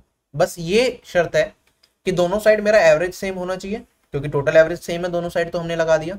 और जो जितनी वैल्यूज़ पे यहाँ पे डेविएशन लगाऊँगा, उतनी वैल्यूज़ पे हमें यहाँ पे डेविएशन लगाना पड़ेगा। डन अब आगे बढ़ते हैं। अब क्वेश्चन धीरे धीरे हमारे लिए इंटरेस्टिंग होते चले जाएँगे। क्वेश्चन में क्या था मेरे पास? जो एवरेज हाइट है ना, एक ग्रुप में सम स्टूडेंट्स की वो है 156 पाँच स्टूडेंट्स इनकी एवरेज हाइट 160 है ग्रुप को ज्वाइन करते हैं। तो जो एवरेज हाइट होती है मेरे पास पूरे ग्रुप की, वो 0.8 से इंक्रीज कर जाती है। हमें बताना है नंबर ऑफ़ स्टूडेंट्स इनिशियली कितने थे ग्रुप के अंदर। इसे हम दो तरीके से कर सकते हैं। या तो हम एलिगेशन का कंसेप्ट यूज़ कर लें, या फिर हम डेविएशन लगा दें। ठीक है? तो अभी ताज़ा ताज़ा डेविएशन सीखा तो डेविएशन से कराता हूँ। मेरे पास कुछ स्टूडेंट्स हैं, जिनका एवरेज है 156 ठीक है? तो मैं मान लेता हूँ मेरे पास एनी स्टूडेंट्स है, उनका एवरेज है 156 ठीक है? नए पाँच स्टूडेंट जोड़े गए तो मेरे पास इनका एवरेज कितना आया? इनका एवरेज हाइट दे रखी थी मुझे 160 जो टोटल स्टूडेंट्स हैं, अब कितने स्टूडेंट्स हो गए? एन थे यहाँ पे फाइव थे, यहाँ पे एन प्लस स्टूडेंट्स हो गए। इनकी एवरेज हाइट जो इंक्रीज हो गई 0.8 से हुई तो मैं कह सकता हूँ पहले एवरेज था मेरे पास 156 क्या इनकी एवरेज हाइट मेरे पास 0.8 से इंक्रीज हो गई? हमें बताना है नंबर ऑफ़ स्टूडेंट्स कितने थे इनिशियली एन की वैल्यू बतानी है। तो हम सोल्व करने के लिए अगर डेविएशन से करते हैं तो मैं मान लेता हूँ, जो मेरे पास एवरेज वैल्यू है ना, इसे एज्यूम्ड मीन मान लेते हैं। इससे फ़ायदा क्या होगा? ये एन एलिमिनेट हो जाएगा। तो मैंने एज्यूम्ड मीन को मान लिया 156 तो डेविएशन कितने का आएगा? ज़ीरो का आएगा। यहाँ पे डेविएशन कितने का आएगा? प्लस फोर का चार ज़्यादा है। यहाँ पे डेविएशन कितने का आएगा? प्लस ज़ीरो पॉइंट एट का। ठीक है? अगर मैं सोल्व करूँगा सम ऑफ़ डेविएशन दोनों जगह बराबर होंगे तो N into zero zero five into four twenty ये किसके बराबर होगा? एन प्लस फाइव इंटू में zero point eight zero point eight into में एन प्लस फाइव सोल्व करके हमें एन की वैल्यू बतानी है। आप यहाँ पे इसे पॉइंट एट है मेरे पास, हटा लूँगा तो यहाँ पे ज़ीरो लग जाएगी। आठ से काटूँगा तो ये वैल्यू आई पच्चीस और एन की वैल्यू कितनी आ गई? पच्चीस माइनस पाँच, बीस। क्वेश्चन हो गया खत्म। डेविएशन कंसेप्ट की सबसे खास बात क्या है कि इसमें नंबर ऑफ़ वैल्यूज़ कितनी भी दे दें। यहाँ पे पाँच जोड़े, दस घटा देते फिर पंद्रह जोड़ देते कुछ भी कर ले। डेविएशन कंसेप्ट से हमारा आंसर आएगा आएगा। कुछ लोग इसे एलिगेशन कंसेप्ट से करते हैं। एलिगेशन लगाना चाहो, एलिगेशन भी कर सकते हो इस क्वेश्चन में, जब भी नंबर ऑफ़ वैल्यूज़ की पूछ जाए, क्योंकि यहाँ पे हमारे पास दो ही केस थे तो एलिगेशन भी यूज़ किया जा सकता है जो आप पढ़ते हो, ठीक है? वरना डेविएशन से डायरेक्टली हमारा आंसर आ जाता है। अब एलिगेशन का अगर बात करें, एलिगेशन भी कुछ नहीं है, फटाफट से एलिगेशन का कंसेप्ट भी सीखते हैं, एलिगेशन क्या होता है, ठीक है? आज पढ़ाने के मूड में हूँ मैं। मैंने कहा, अगर मेरे पास दो वैल्यूज़ की बात करूँ वेटेड एवरेज होता है A one N one plus A two N two divided by N one plus N two ठीक है? यही होता है एवरेज अगर मैं क्रॉस मल्टीप्लाई कर दूँ, मैं कहूँगा A W N one plus A W N two ये बराबर हो जाएगा A one N one plus A two N two के। अगर मैं क्या कर लूँ यहाँ पे? एन वन को कॉमन ले लूँ इधर। तो ये मेरे पास क्या आ जाएगा? एन वन कॉमन हुआ तो ये बचेगा A W minus N one और अगर मैं यहाँ पे एन टू को कॉमन ले लूँ तो ये बचेगा A two minus A W और यहाँ पे मेरे पास जो वैल्यू आएगी N one divided by N two ये हो जाएगा A two minus A W divided by A W minus ठीक है? यही मेरा एलिगेशन का कंसेप्ट क्या था। एलिगेशन का कंसेप्ट क्या आता है जनरली हम नंबर का रेशियो निकालने के लिए यूज़ करते हैं एवरेज निकालने के लिए भी कई बार कर लेते हैं। लेकिन केस ये कहाँ यूज़ होता है? जब हमारे पास दो वैल्यूज़ हो, ठीक है? दो टर्म्स हो। दो एवरेज रखे हैं, दो डिफरेंट सेट्स हैं, उनका एवरेज निकालना हो। अब हम इसे यूज़ कैसे करते हैं? आप कहते हो, सर, मेरे पास एन वन स्टूडेंट्स है एन टू स्टूडेंट्स है। ठीक है? एन वन स्टूडेंट्स का एवरेज है A one N two students का एवरेज है ए टू और अगर मैं टोटल स्टूडेंट्स की बात करूँ तो उनका एवरेज होगा मेरे पास ए तो मैं कहता हूँ, आप कहोगे एवरेज इन दोनों में से मिडल वैल्यू होगी। मैं जनरली मान लेता हूँ कि मेरा ए क्या है? बड़ा है किससे? ए से। ठीक है? तो ए टू अगर ए वन से बड़ा है तो मेरा ए टू बड़ा होगा किससे? ए डब्ल्यू से। मैं जनरली वैसे मान के चल रहा हूँ। तो मैं कहूँगा ए टू में से अगर ए डब्ल्यू को घटा दूँ, और यहाँ पे ए डब्ल्यू क्योंकि फिर अगर एवरेज है तो ए डब्ल्यू मेरा बड़ा होगा किससे? ए वन से। तो ए डब्ल्यू में से अगर ए वन को घटा दूँ तो मैंने क्या करा, इसमें से ये घटाया, इसमें से ये घटाया तो जो इनका रेशियो आएगा वो किसके बराबर होगा? N one ratio N two के बराबर होगा। ठीक है, यही हमारा एलिगेशन का कंसेप्ट है, यही फॉर्मूला जहाँ जहाँ ये फॉर्मूला लग सकता है, वहाँ वहाँ हम एलिगेशन यूज़ कर सकते हैं। This is nothing but average average में क्या होता है? सम अपॉन में नंबर ऑफ़ ऑब्जर्वेशन तो यहाँ पे हम सम क्या करते हैं? एवरेज वैल्यू को सम अपॉन में नंबर ऑफ़ वैल्यू को यहाँ पे लिखते हैं। जो डिनोमिनेटर वाला पार्ट है, वो हमें यहाँ पे रेशियो के फॉर्म में मिलता है। नंबर ऑफ़ ऑब्जर्वेशन का रेशियो यहाँ पे मिलता है। ठीक? जो पिछला क्वेश्चन था, अब इसे मैं एलिगेशन से एक बार बता देता हूँ। मेरे पास क्या था? एन स्टूडेंट्स थे, उनकी एवरेज हाइट 156 दे रखी थी। पाँच स्टूडेंट ने ग्रुप को ज्वाइन करा। इनकी एवरेज हाइट है 160 जो टोटल एन प्लस स्टूडेंट्स हैं, इनका एवरेज आया मेरे पास 0.8 से मेरी एवरेज वैल्यू बढ़ गई। एलिगेशन लगाऊँगा तो मैं बड़े में से छोटे को घटाऊँगा, इसमें से इसे घटाया। तो ये आप कहोगे, सर 56 काटता तो चार चार में से 0.8 को घटाया 3.2 आएगा। अगर मैं क्या करता हूँ, इस वाली वैल्यू में से इसे घटाता हूँ तो ये वाली वैल्यू आएगी मेरे पास 0.8 रेशियो निकाल लूँगा तो वैल्यू कितनी आएगी? पॉइंट एट से थ्री पॉइंट टू को काटूँगा तो एक रेशियो चार। एक रेशियो किसके बराबर? पाँच के बराबर। तो मैं कहूँगा एन किसके बराबर होगा? पाँच से गुना करना पड़ा तो चार को पाँच से गुना करूँगा तो ये वाली वैल्यू हो जाएगी मेरे पास बीस। ये हमारा एलिगेशन होगी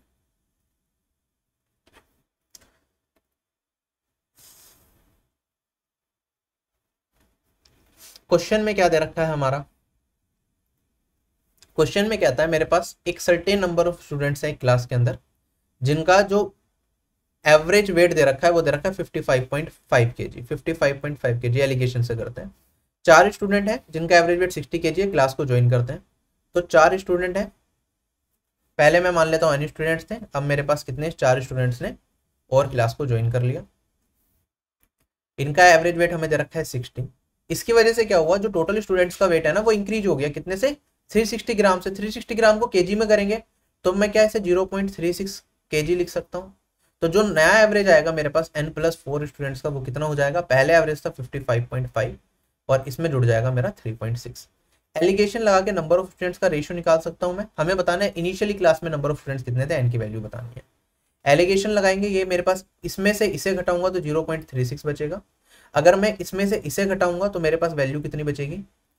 आप कहोगे, सर अगर मैं इसे घटाता तो साढ़े चार बचता। साढ़े चार में से अगर three six point three six को घटा दिया फोर पॉइंट फाइव में से ज़ीरो पॉइंट थ्री सिक्स को घटाया तो यहाँ पे मेरे पास चार बचेगा, यहाँ एक और यहाँ पे बचेगा चार। फोर पॉइंट वन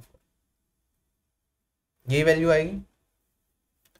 सोल्व करके अपना आंसर बता देते हैं, हमारे पास वैल्यू क्या बच रही है। पॉइंट से पॉइंट हट जाएगा। थर्टी सिक्स के टेबल में ये आता है क्या?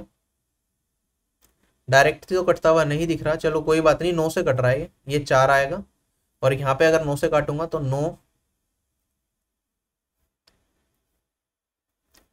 चौक छत्तीस फिफ्टी फोर सिक्स ठीक है, ये आ गया फोर्टी सिक्स अब हमारे पास रेशियो नंबर स्टूडेंट्स का आ गया। पहले अगर 46 रेशियो थे तो अब चार रेशियो होंगे। और यहाँ पे भी दे रखा है। ये चार रेशियो है। हमने चार नए स्टूडेंट जोड़े गए। तो पहले नंबर ऑफ़ स्टूडेंट्स कितने रहे होंगे? इंटू वन और इंटू वन ये आएगा मेरे पास 46 खत्म। इसे आप डेविएशन से खुद ट्राई करना, ये आपका होमवर्क वाला पार्ट है। दो वैल्यूज़ है, इसलिए एलिगेशन लगा पा रहा हूँ। यहाँ पे होता कि मेरे पास क्या है?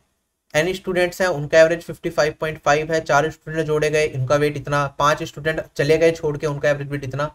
तो उस केस में एलिगेशन नहीं लग पाता, फिर हमें डेविएशन से करना पड़ता तो डेविएशन कंसेप्ट इज़ मस्ट ठीक है? क्वेश्चन में क्या आता है मेरे पास? जो एवरेज डेली प्रोडक्शन है ना टॉयज का एक फैक्ट्री के अंदर इन दी मंथ ऑफ़ दिसंबर वो है 512 फ़र्स्ट ट्वेंटी डेज़ में प्रोडक्शन है 515 और लास्ट के थर्टीन डेज़ में जो प्रोडक्शन है वो है 510 एवरेज में तो हमें एवरेज प्रोडक्शन बताना है उन्नीसवे और बीसवें दिन का क्या होगा। ठीक? बेसिक से करेंगे, फिर डेविएशन से करेंगे। ठीक है? टोटल मेरे पास दिसंबर महीने में कितने दिन होते हैं? इकतीस दिन होते हैं। ठीक है? इकतीस में से कहता है कि जो पहले बीस दिन है, उनका एवरेज कितना है मेरे पास? पूरे इकतीस दिन का एवरेज अलग दे रखा है मुझे फाइव वन टू पहले बीस दिन का एवरेज दे रखा है हमें, पाँच सौ पंद्रह। और अगर मैं लास्ट के तेरह दिन की बात करूँ तो एवरेज दे रखा है मुझे कितना? 510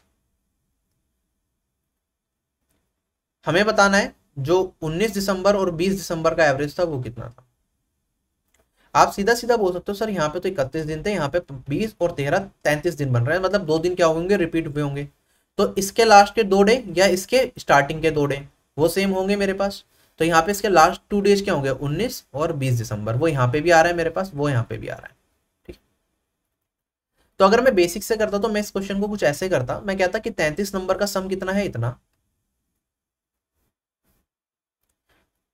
512 एवरेज है तो 33 इंटू पाँच करता। फिर मैं कहता कि 20 लोगों का एवरेज इतना है तो 20 इंटू और यहाँ पे 13 इंटू करता। और मेरे पास दो नंबर जो रिपीट हो रहे हैं दोनों जगह, वो घटाने पड़ते हैं मुझे तो टू इंटू उनका एवरेज मान लेता मैं एक्स इसे अब यहाँ पे मैं सोल्व करके अपना आंसर बता सकता हूँ। ये हो गया बेसिक अब बेसिक से भी करने में कोई दिक्कत नहीं है इस क्वेश्चन को तो क्योंकि यूनिट डिजिट सबकी डिफरेंट है डायरेक्टली यूनिट डिजिट निकाल लो। ये एक इंटू दो करूँगा यूनिट डिजिट आई दो। यहाँ पे मेरे पास ज़ीरो आएगी और यहाँ पे भी ज़ीरो आएगी। दो में से ज़ीरो घटाऊँगा तो मेरे पास बचेगा दो। और दो को अगर मैं दो से विभाजित करूँ, या मेरे पास यूनिट डिजिट टू बची, और यहाँ पे है टू एक्स सॉरी ये मेरे पास प्लस का है ना इधर जाके टू एक्स बचेगा। और यहाँ पे मेरे पास ये ज़ीरो था तो टेन मान सकते हैं टेन माइनस टू करूँगा तो यूनिट डिजिट बचेगी मेरे पास एट अब यूनिट डिजिट जब एट है, उसे मैं टू से विभाजित करूँगा तो दो चीज़ आ सकती है। या तो मेरे पास अट्ठारह होता, दो से बात करता, क्योंकि यूनिट डिजिट यहाँ पे भी एट है तो नाइन आ सकता है। वरना सिंगल एट होता, या फिर इसके आगे कोई इवन वैल्यू होती, से ज़ीरो एट होता या अट्ठाईस होता, इसे दो से विभाजित करता तो यूनिट डिजिट क्या आती? दोनों केस में यहाँ पे वन फोर आता है यहाँ पे ज़ीरो फोर आता राइट तो उस केस में अब टू से डिवाइड करने के बाद या तो मेरे पास यूनिट डिजिट आएगी। क्या कहते हैं? नो या फिर आएगी चार। चार ऑप्शन में चेक करा। Unit digit option number B में मैच कर रही है, यही मेरा आंसर होगा। ये हो गया इसका बेसिक बेसिक आप सभी लोग कर लोगे, कोई प्रॉब्लम नहीं है। अब इसी क्वेश्चन को एक बार डेविएशन से समझते हैं डेविएशन से क्या होगा। ठीक है, फिर लॉजिकली भी सोचेंगे कि क्या कर सकते हैं ऐसा। हाँ मेरे पास क्या है?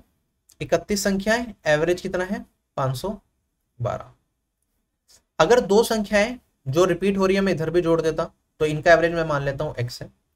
यहाँ पे बढ़ते हैं। यहाँ पे मेरे पास कितनी संख्याएँ हैं? बीस संख्याएँ एवरेज पाँच सौ पंद्रह है, और मेरे पास तेरह संख्याएँ हैं, उनका एवरेज कितना है? पाँच सौ दस है। हमें बताना है इन दो संख्याओं का एवरेज क्या होगा। अगर मैं डेविएशन कंसेप्ट यहाँ पे यूज़ कर लूँ तो आप कहोगे एज्यूम्ड मीन को क्या मान लेते हैं? 512 तो डेविएशन ज़ीरो का होगा। यहाँ पे डेविएशन कितना होगा? x माइनस पाँच मैं ये देखा, ये वाली वैल्यू कितनी ज़्यादा है मेरे इससे? यहाँ पे डेविएशन कितने का होगा? क्या प्लस तीन का होगा? और यहाँ पे डेविएशन कितने का होगा? क्या ये माइनस दो का होगा? सम ऑफ़ डेविएशन को इक्वल कर देंगे। ज़ीरो इंटू इकतीस तो ज़ीरो ही है। दो इंटू ये करूँगा तो टू इंटू मेरे पास बचेगा। X minus five one two या मैं लिख सकता हूँ टू एक्स माइनस इसे गुना कर दूँगा तो वन ज़ीरो टू फोर ये मेरे पास किसके बराबर आएगा? बीस इंटू में तीन, साठ, और ये छब्बीस यहाँ पे घटा देंगे। ठीक है? बल्कि टू को कॉमन ले लेता तो ज़्यादा सही रहता, थोड़ा पीछे आता हूँ। टू को कॉमन ही ले लेते हैं। वैसे कॉमन लेना ही एक अच्छी प्रैक्टिस होती है। ये बराबर होगा साठ माइनस छब्बीस।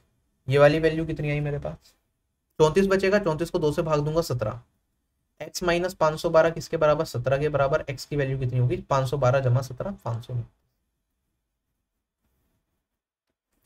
ये हो गया मेरा इस क्वेश्चन का आंसर ये हो गया मेरा डेविएशन मेथड लगाया। अब मैं डेविएशन मेथड को थोड़ा और सिंप्लीफाई करूँगा। जब भी आपके पास ऐसा कुछ होना दो वैल्यूज़ रिपीट कर रही हूँ डायरेक्टली सुनना इस चीज़ को। अगर मेरे पास कुछ वैल्यूज़ रिपीट कर रही हैं तो मेरे पास आंसर क्या होगा सुन लो। डायरेक्टली आगे से यूज़ करना इस चीज़ को। मैंने कहा दो वैल्यूज़ रिपीट कर रही थी, ठीक है? तो जो इन दो वैल्यूज़ का सम होगा, या फिर मैं अगर इनका एवरेज मान लू एक्स तो टू एक्स मेरा हमेशा किसके बराबर होगा? ये वाली वैल्यू मेरे पास बराबर होगी। आप इनमें से डेविएशन निकालो। यहाँ पे मैंने कहा ये प्लस तीन का डेविएशन है यहाँ पे। यहाँ पे माइनस दो का डेविएशन है। कितनी कितनी वैल्यू जो है? यहाँ पे मेरे पास बीस वैल्यू पे था। तो मैंने कहा बीस इंटू में तीन होगा। मैंने कहा यहाँ पे जो वैल्यू है मेरे पास, यहाँ पे डेविएशन तेरह वैल्यूज़ पे माइनस दो का है। तेरह इंटू में माइनस दो। और यहाँ पे मैं क्या ऐड करूँगा? यहाँ पे मैं ऐड करूँगा। नंबर ऑफ़ वैल्यूज़ कितनी है? जो रिपीट कर रही थी टू और इनटू में जो सभी वैल्यूज़ का एवरेज कितना था? पाँच सौ बारह। ये मेरा इन दोनों वैल्यूज़ का क्या होगा? सम होगा। ये आपको याद रखना है। क्या बताया मैंने? इन दोनों वैल्यूज़ का सम क्या होगा? जो दो वैल्यू रिपीट कर रही है, वो उनका सम होगा टू इंटू में जो मेरा एवरेज दे रखा है। जितनी वैल्यूज़ रिपीट कर रही है, उतनी वैल्यूज़ इंटू में जो एवरेज दे रखा है। और बाकी वैल्यूज़ में इस साइड जो डेविएशन आ रहा है, वो आपको निकालना है। यही तो करा मैंने यहाँ पे और वही यहाँ पे लिख दिया। ये आपको याद रखना है। ठीक है? अब ऐसा क्यों होता है, ये देखते हैं। इसके पीछे का लॉजिक भी है। ऐसा नहीं है कि बिना लॉजिक मैंने बस डायरेक्ट तरीका बता दिया, अगर ओरली भी सोचा जा सकता है इस चीज़ को। देखो, मेरे पास क्या है? बीस वैल्यूज़ का एवरेज इतना है और तेरह वैल्यूज़ का एवरेज इतना है। ठीक है? अगर मैं यहाँ पे क्या निकालता, अपना एवरेज निकालता तो मेरे पास क्या होता? आप देखते हैं यहाँ पे जो एवरेज जा रहा है मेरा, इन जो इकतीस वैल्यूज़ का एवरेज है, उससे थोड़ा सा ज़्यादा जाएगा डेविएशन अगर मैं यूज़ करता हूँ। तो वो किस वजह से ज़्यादा जा रहा है? क्योंकि यहाँ पे जो दो वैल्यू 19 और 20 वैल्यू जो रिपीट कर रही थी, वो एवरेज वैल्यू से थोड़ी सी ज़्यादा रही होंगी। तो हमने इसलिए ये वाला पार्ट को ऐड कर दिया, इसलिए डेविएशन हमारा ज़्यादा जा रहा है। अगर ये दो वैल्यूज़ मेरी एवरेज वैल्यू से थोड़ी सी कम होती तो इन वैल्यूज़ को यूज़ करके जो मैं एवरेज निकालता, वो मेरा एवरेज वैल्यू से कम होता। तो उस केस में ये डेविएशन नेगेटिव में चला जाता और उस केस में जो मेरा इनका सम आता, वो भी मेरा क्या होता एवरेज वैल्यू से थोड़ा सा कम होता। या एवरेज निकालता इन दोनों वैल्यूज़ का एवरेज वैल्यू से थोड़ा सा कम होता। तो ये कंपनसेशन किया जा रहा है यहाँ पे। जो डिफरेंस आ रहा है, बस हम वो यूज़ करके अपना आंसर बता रहे हैं। अब ये वाला क्वेश्चन देखो एसएससी का फेवरेट क्वेश्चन में कहता है मेरे पास, तेईस नंबर है, उनका एवरेज रखा है इक्यावन। बारह नंबर है, उनका एवरेज है फोर्टी नाइन और अगले बारह नंबर है, उनका एवरेज रखा है फिफ्टी फोर अगर मैं ट्वेल्थ नंबर को रिमूव कर दूँ तो मुझे बताना रिमेनिंग नंबर्स का एवरेज कितना होगा। तो मैंने कहा, तेईस नंबर एवरेज फिफ्टी बस समझाने के लिए दोबारा लिख रहा हूँ, अगली बार डायरेक्टली करूँगा। बारह नंबर का एवरेज दे रखा है मुझे कितना? Forty nine. और अगले बारह नंबर का एवरेज दे रखा है मुझे फिफ्टी फोर। तो हमें बताना है, अगर ट्वेल्थ नंबर को रिमूव कर दिया तो नया एवरेज क्या होगा? आप कहोगे, सर, यहाँ पे तेईस नंबर है, यहाँ पे बारह और बारह कितने नंबर है? मेरे पास चौबीस नंबर है। तो एक नंबर रिपीट कर रहा होगा। कौन सी संख्या रिपीट कर रही होगी? क्या वो ट्वेल्थ नंबर ही होगा? कैसे पता चलेगा? एक से लेके बारह तक गए, बारहवीं संख्या यहाँ पे आ रही है। उल्टा वापिस आऊँगा मैं, तेईस से लेके बारह संख्या पीछे लूँगा तो बारहवें तक पहुंचूँगा तो बारहवीं संख्या रिपीट कर रही होगी। तो इसमें से मुझे एक संख्या घटानी पड़ेगी, जिसका एवरेज मैं मान लेता हूँ एक्स एक्स की वैल्यू फाइंड आउट करनी है। डेविएशन निकालूँगा तो यहाँ पे ज़ीरो आएगा, यहाँ पे डेविएशन कितने का आएगा? इक्यावन माइनस दो का डेविएशन है, यहाँ पे प्लस तीन का डेविएशन है। नेट डेविएशन कितना हो गया? बारह इंटू में दो प्लस बारह इंटू में थ्री यहाँ तो ज़ीरो है। तो बारह कॉमन लिया, तीन में से दो घटाऊँगा तो एक बचेगा, और माइनस एक्स और यहाँ पे डेविएशन निकालेंगे इक्यावन में तो ये वाली वैल्यू आएगी मेरे पास एक्स माइनस इक्यावन। ये एक्स माइनस इक्यावन उधर चला जाएगा तो एक्स माइनस इक्यावन किसके बराबर? इसके बराबर और एक्स की वैल्यू आ जाएगी इक्यावन प्लस बारह। क्या ये समझ आ गया? डेविएशन मेथड से आप डायरेक्ट करेंगे। मैंने कहा मेरे पास एक वैल्यू है जो रिपीट कर रही है तो मेरे पास जो वैल्यू रिपीट कर रही है, उसका वो वैल्यू या उसका सम क्या होगा? कि एक वैल्यू रिपीट कर रही थी तो सबसे पहले एवरेज कितना दे रखा है? मेरे पास इक्यावन दे रखा है तो मैं इक्यावन इंटू एक लिख दूँगा और फिर प्लस डेविएशन निकालेंगे हम। बारह वैल्यूज़ का एवरेज कितना था? फोर्टी नाइन था। ठीक है, यहाँ पे एवरेज कितना दे रखा है? इक्यावन दे रखा है। तो माइनस टू हो गया। डेविएशन माइनस टू का आएगा डायरेक्टली देख सकते हैं। कितनी वैल्यूज़ पे? बारह पे। तो बारह इंटू में माइनस टू फिर मेरे पास अगेन बारह वैल्यूज़ है, जिनका एवरेज है फिफ्टी फोर डेविएशन निकालेंगे प्लस तीन का। तो प्लस बारह इंटू में तीन। ये हमें ओरली क्वेश्चन पढ़ते पढ़ते सोचना है कि बारह कॉमन आ जाएगा, तीन में से दो घटेगा तो एक बचेगा। तो एक्स की वैल्यू कितनी आएगी? इक्यावन प्लस बारह। अब मैंने इसे पूरा सोल्व नहीं करा, क्योंकि हमसे ये नहीं पूछा, भैया ट्वेल्थ वैल्यू बता दो। हमसे पूछा, अगर इसे भी घटा दो तो एवरेज क्या होगा? ठीक है? अब आप लॉजिकली सोचेंगे बेसिक से करना चाहें बेसिक से भी कर सकते हैं। पहले बेसिक से सुन लो, चलो फिर लॉजिक करेंगे, ठीक है? सम कितना होगा मेरे पास? तेईस नंबर का। आप कहोगे तेईस नंबर का सम होगा तेईस इंटू में इक्यावन। अगर मैं ये वाली संख्या घटा दूँ तो मेरे पास कितनी संख्या बचेंगी? बाईस संख्या बचेंगी। उनका सम कितना होगा? तेईस संख्याओं का सम इतना है। इसमें से ये संख्या घटा रहा हूँ मैं इक्यावन प्लस बारह। तो मेरे पास ये आ गया, बाईस संख्याओं का सम बाईस से विभाग कर, विभाजित कर दूँगा तो एवरेज आ जाएगा। आप देखोगे तेईस इंटू इक्यावन है, यहाँ पे एक इंटू इक्यावन लिख सकता हूँ इसे मैं। तो अगर ये घटाऊँगा तो मेरे पास क्या बचेगा? इक्यावन कॉमन आ गया, तेईस माइनस एक, क्या ये बाईस इंटू इक्यावन बचेगा? और माइनस में ट्वेल्व डिवाइडेड बाई मेरे पास ट्वेंटी टू होगा। ये बाईस से बाईस कट जाएगा, इक्यावन माइनस बारह भाग बाईस बचेगा आंसर होगा मेरा, दो से काट दिया तो ये छह भाग ग्यारह। और ये वाली वैल्यू कितनी होगी? पॉइंट ज़ीरो पॉइंट फाइव और फिर four, zero point five four कुछ होगी। और अगर इस वाली वैल्यू में से फिफ्टी वन में से ज़ीरो पॉइंट फाइव फाइव मान लो या फिर घटाऊँगा तो मेरे पास आंसर क्या बचेगा? क्या ये fifty point six sorry four five five घटाया तो फोर फाइव अप्रोक्सीमेटली ये मेरा आंसर आएगा ऑप्शन नंबर एक करेक्ट इस पूरे क्वेश्चन को विद इन ट्वेंटी सेकेंड हम कर सकते हैं, अगर हम ध्यान से अप्रोचेस को समझ लें, ठीक है? अभी ये चीज़ आपको समझ आई। अब मैं इसी क्वेश्चन को दूसरे तरीके से फ्रेम करता हूँ, जो ये वाला तरीका था ना, इसे डायरेक्ट करते हैं। मैं कहता हूँ यहाँ पे, मेरे पास जो एवरेज थी ना सभी वैल्यूज़ की, वो थी इक्यावन। डन इक्यावन थी। ये वाली वैल्यू एवरेज से कितनी ज़्यादा है? बारह ज़्यादा है। जब सभी तेईस वैल्यूज़ को मैं एवरेज इक्यावन दे रखा, मैंने माना सारे की सारी वैल्यूज़ मेरे पास क्या होंगी? इक्यावन इक्यावन होंगी। अब एक वैल्यू मेरी इक्यावन से बारह ज़्यादा है तो कहीं ना कहीं जो ये बारह का कॉन्ट्रीब्यूशन है, इन सभी बाईस वैल्यूज़ को मिला होगा, तब जाके मेरे पास क्या बना होगा? एवरेज इक्यावन बना होगा। अब ये जब ये वाली संख्या मैं हटा दूँगा तो इक्यावन होती, हट जाता तो कुछ फ़र्क नहीं पड़ता। लेकिन क्योंकि ये बारह ज़्यादा है तो बारह का कंट्रीब्यूशन वापस लिया जाएगा इन बाईस संख्याओं से। तो नया एवरेज क्या होगा? इक्यावन माइनस बाईस का कंट्रीब्यूशन वापस बारह का कंट्रीब्यूशन वापस लिया जाएगा बाईस संख्याओं से तो नया एवरेज होगा ये। थोड़ा सा सोचना टाइम लगेगा डायरेक्टली नहीं कर पाओगे ऐसे। बेसिक से करना चाहो तो बेसिक्स तो आप सम ऑफ़ ऑब्जर्वेशन करके इस क्वेश्चन का आंसर निकाल ही लोगे, दो मिनट दे दी जाए तो। लेकिन एग्ज़ाम में अगर 20 सेकंड में निकालना तो ये सारी अप्रोचेस हमें क्लियर होनी चाहिए, ठीक है? अब ऐसा क्वेश्चन अगर एक और मिल जाए तो मज़ा आ जाए। मिल गया, चलो। हमारी इच्छा हुई पूरी। अब इस क्वेश्चन को देखो डायरेक्टली देखेंगे कैसे करना है। मेरे पास 28 नंबर है, उनका एवरेज है 77 पहले चौदह नंबर का एवरेज 74 लास्ट के 15 नंबर का एवरेज 84 चौदह नंबर को हटा दूँ तो नया एवरेज क्या होगा, ठीक है? तो अगर मैं बात करता हूँ, क्योंकि यहाँ पे 28 नंबर है, उनका औसत इतना था, चौदह और पंद्रह कितने नंबर हो गए? उनतीस नंबर हो गए। तो मेरे पास क्या हुआ? एक नंबर एक्स्ट्रा एक नंबर रिपीट करा होगा, वो क्या होगा? फोर्टीन नंबर ही रहा होगा सीधी सी बात है, ठीक है? फोर्टीन नंबर कितना होगा मेरा? फोर्टीन नंबर होगा मेरा, कितना? क्योंकि एक नंबर रिपीट कर रहा था तो मैं लिखूँगा पहले 28 नंबर का एवरेज था, सतहत्तर तो ये होगा मेरा सतहत्तर प्लस डेविएशन निकालो। पहले चौदह नंबर में डेविएशन कितने का है? क्या ये माइनस तीन का है? तो मैं कहूँगा चौदह इंटू में माइनस तीन। और बाकी के पंद्रह नंबर में डेविएशन कितने का है? प्लस सेवन का है। तो मैं कहूँगा प्लस सेवन इंटू में पंद्रह। सोल्व करेंगे तो ये वाली वैल्यू जो आएगी सतहत्तर प्लस ये बनेगा 105 105 में से अगर मैं घटा दूँ किसे? बयालीस को। तो वैल्यू कितनी बचेगी मेरे पास? तिरसठ। अब कहता है कि फोर्टींथ नंबर को ही अगर हटा दिया जाए तो नया एवरेज क्या होगा? मैं कहूँगा पहले 28 नंबर थे।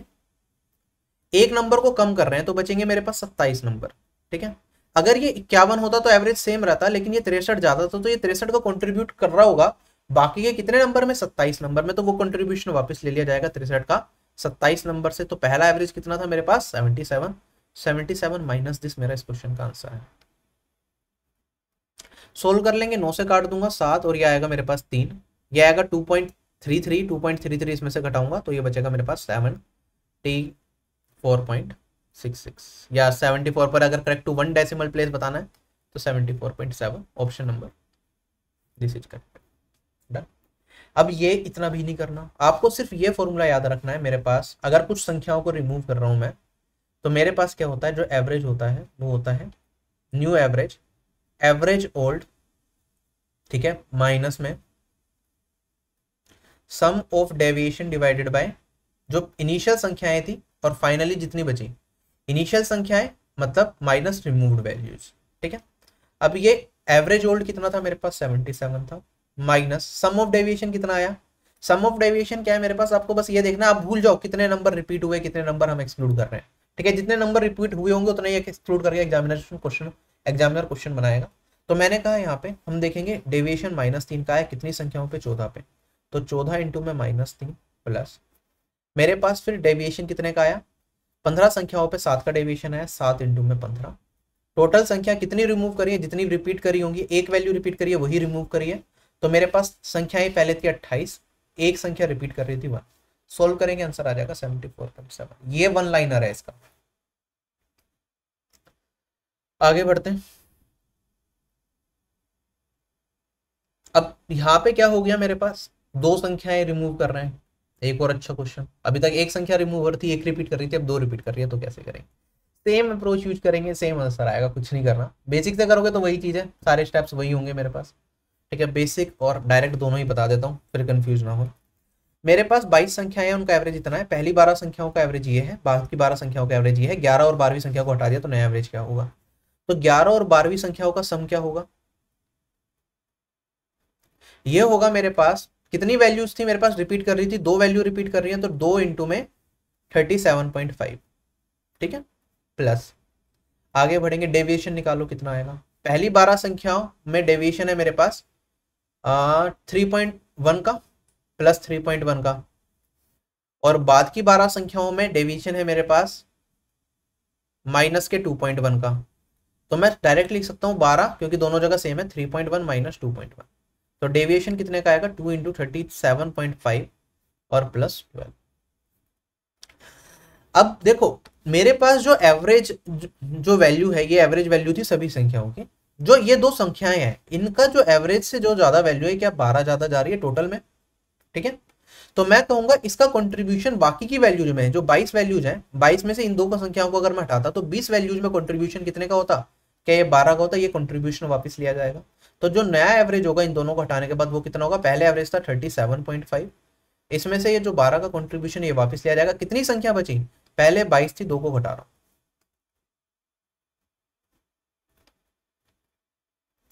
आंसर आ जाएगा मेरे पास यहाँ पे। बारह को काटूँगा पॉइंट सिक्स आएगा पॉइंट सिक्स घटा दिया थर्टी सिक्स पॉइंट नाइन खत्म।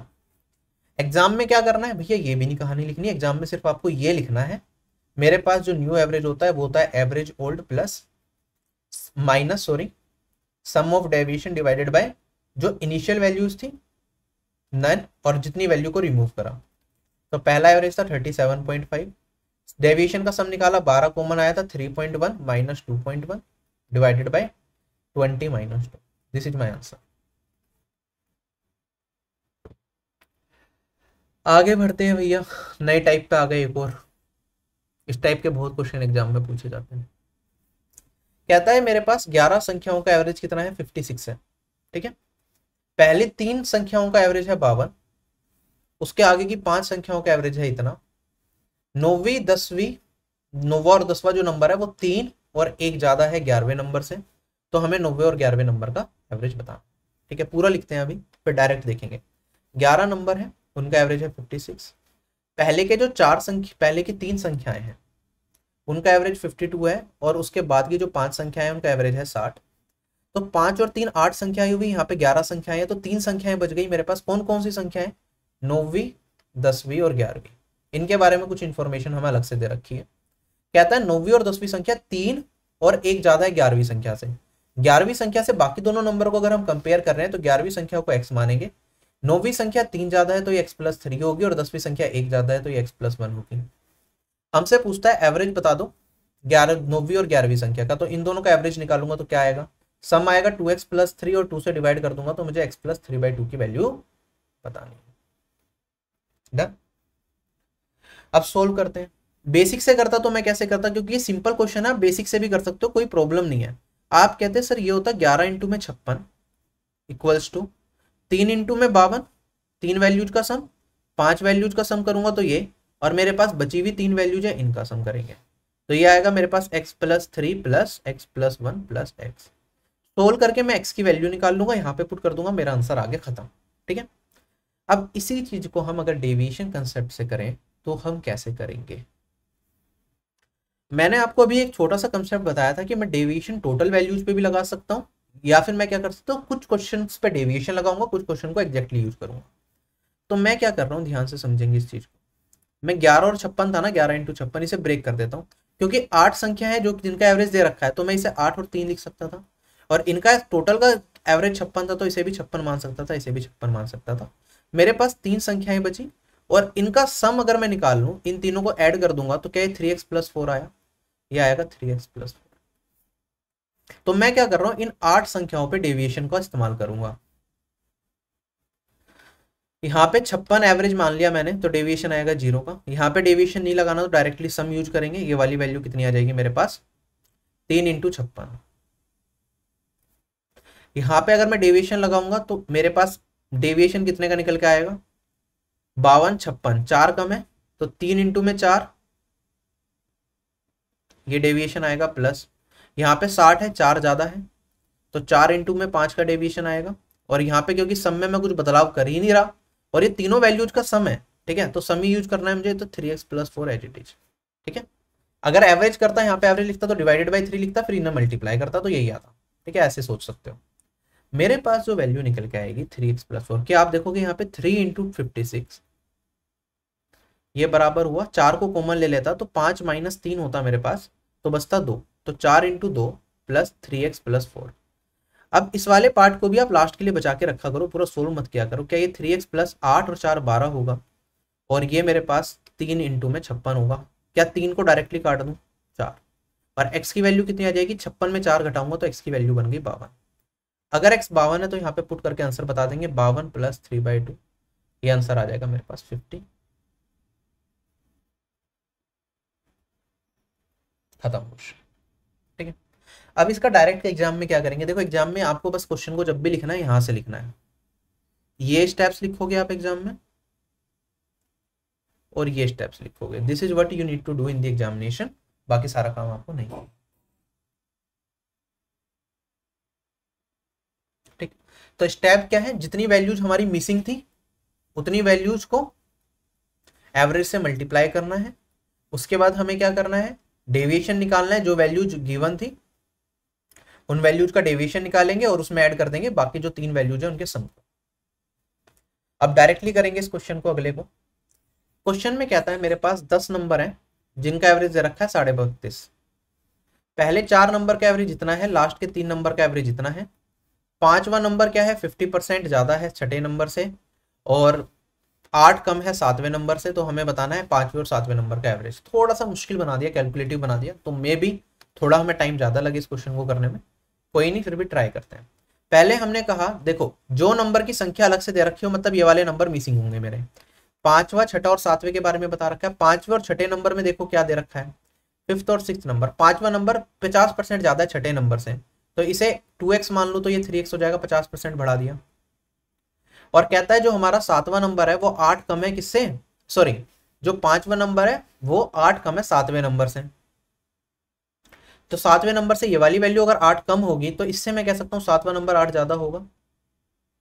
हमसे पूछता है पाँचवें और सातवें नंबर का एवरेज तो इनका एवरेज निकालूँगा तो कितना आएगा मेरे पास? ये होगा six x plus eight divided by two ये आएगा थ्री एक्स प्लस फोर मुझे ये थ्री एक्स प्लस फोर की वैल्यू बतानी है फाइनली क्या आएगी? डन सोल्व करते हैं। मेरे पास दस नंबर थे, जिनका एवरेज था थर्टी टू पॉइंट फाइव फिर चार नंबर का average twenty five point six था, पहले चार। लास्ट के तीन नंबर का एवरेज दे रखा था मेरे पास थर्टी एट पॉइंट टू और अगर मैं बात करूँ यहाँ पे, बचे हुए तीन नंबर बचे मेरे पास, उनका सम यहाँ से निकाल सकते हैं हम या एवरेज करोगे तो आप एवरेज वैल्यू भी बता सकते हो, ठीक है? तो मैंने क्या करा था, पिछले क्वेश्चन में बताया था कि हम इसे स्प्लिट कर देंगे, दस को, सात और तीन के अंदर। तो सात में तो यहाँ पे डेविएशन ज़ीरो का आ जाएगा, तीन में निकालूँगा टोटल पे काम करेंगे तीन पे तो मेरे पास बचेगा three into thirty two point five यहाँ पे सात में डेविएशन लगाएँगे तो एवरेज मैंने ये माना है थर्टी टू पॉइंट फाइव तो ये वाली वैल्यू कितनी कम या ज़्यादा है? आप कहोगे, सर, ये वाली वैल्यू डेविएशन यहाँ पे निकल के आएगा मेरे पास। इसमें से इसे घटाना है तो यहाँ पे तो पॉइंट नाइन आएगा और यहाँ पे आएगा मेरे पास सिक्स पॉइंट नाइन तो ये आएगा फोर इंटू में माइनस का सिक्स पॉइंट नाइन डेविएशन चार वैल्यूज़ पे टोटल डेविएशन इतने का होगा। तीन वैल्यूज़ पे डेविएशन निकालेंगे थर्टी एट पॉइंट टू है थर्टी टू पॉइंट ये है फाइव घटाऊँगा डेविएशन क्या? 5.7 का आएगा पॉजिटिव में और three into five point seven करेंगे। और यहाँ पे मेरे पास तीन वैल्यूज़ है क्योंकि इन्हें एग्जैक्ट यूज़ करना है तो इनका सम कर लेंगे एट एक्स प्लस एट आ गया। सोल्व करके एक्स की वैल्यू निकालेंगे और यहाँ पे पुट करके अपना आंसर निकालेंगे। थोड़ा सा कैलकुलेटिव है, चलो करते हैं। थ्री इंटू ये करना है। आप लास्ट के लिए भी छोड़ सकते हो, लेकिन अगर मैं चेक करूँ, यहाँ पे ये तीन से कट रहा है, ये भी तीन से कट रहा है। लेकिन ये वाली वैल्यू तीन से कटेगी नहीं तो रोकने का फ़ायदा नहीं है, आप कैलकुलेशन कर सकते हो। ये आएगा मेरे पास नाइनटी सेवन पॉइंट फाइव इसे चार से गुना करूँगा, सत्तर को चार से करता तो दो सौ अस्सी, उसमें चार घटा देंगे। तो मेरे पास आएगा ट्वेंटी सेवन पॉइंट सिक्स यहाँ पे सत्तावन को तीन से करूँगा, एक सौ इकहत्तर, सत्रह दशमलव एक। और यहाँ पे आएगा प्लस आठ, और यहाँ पे वैल्यू आएगी मेरे पास।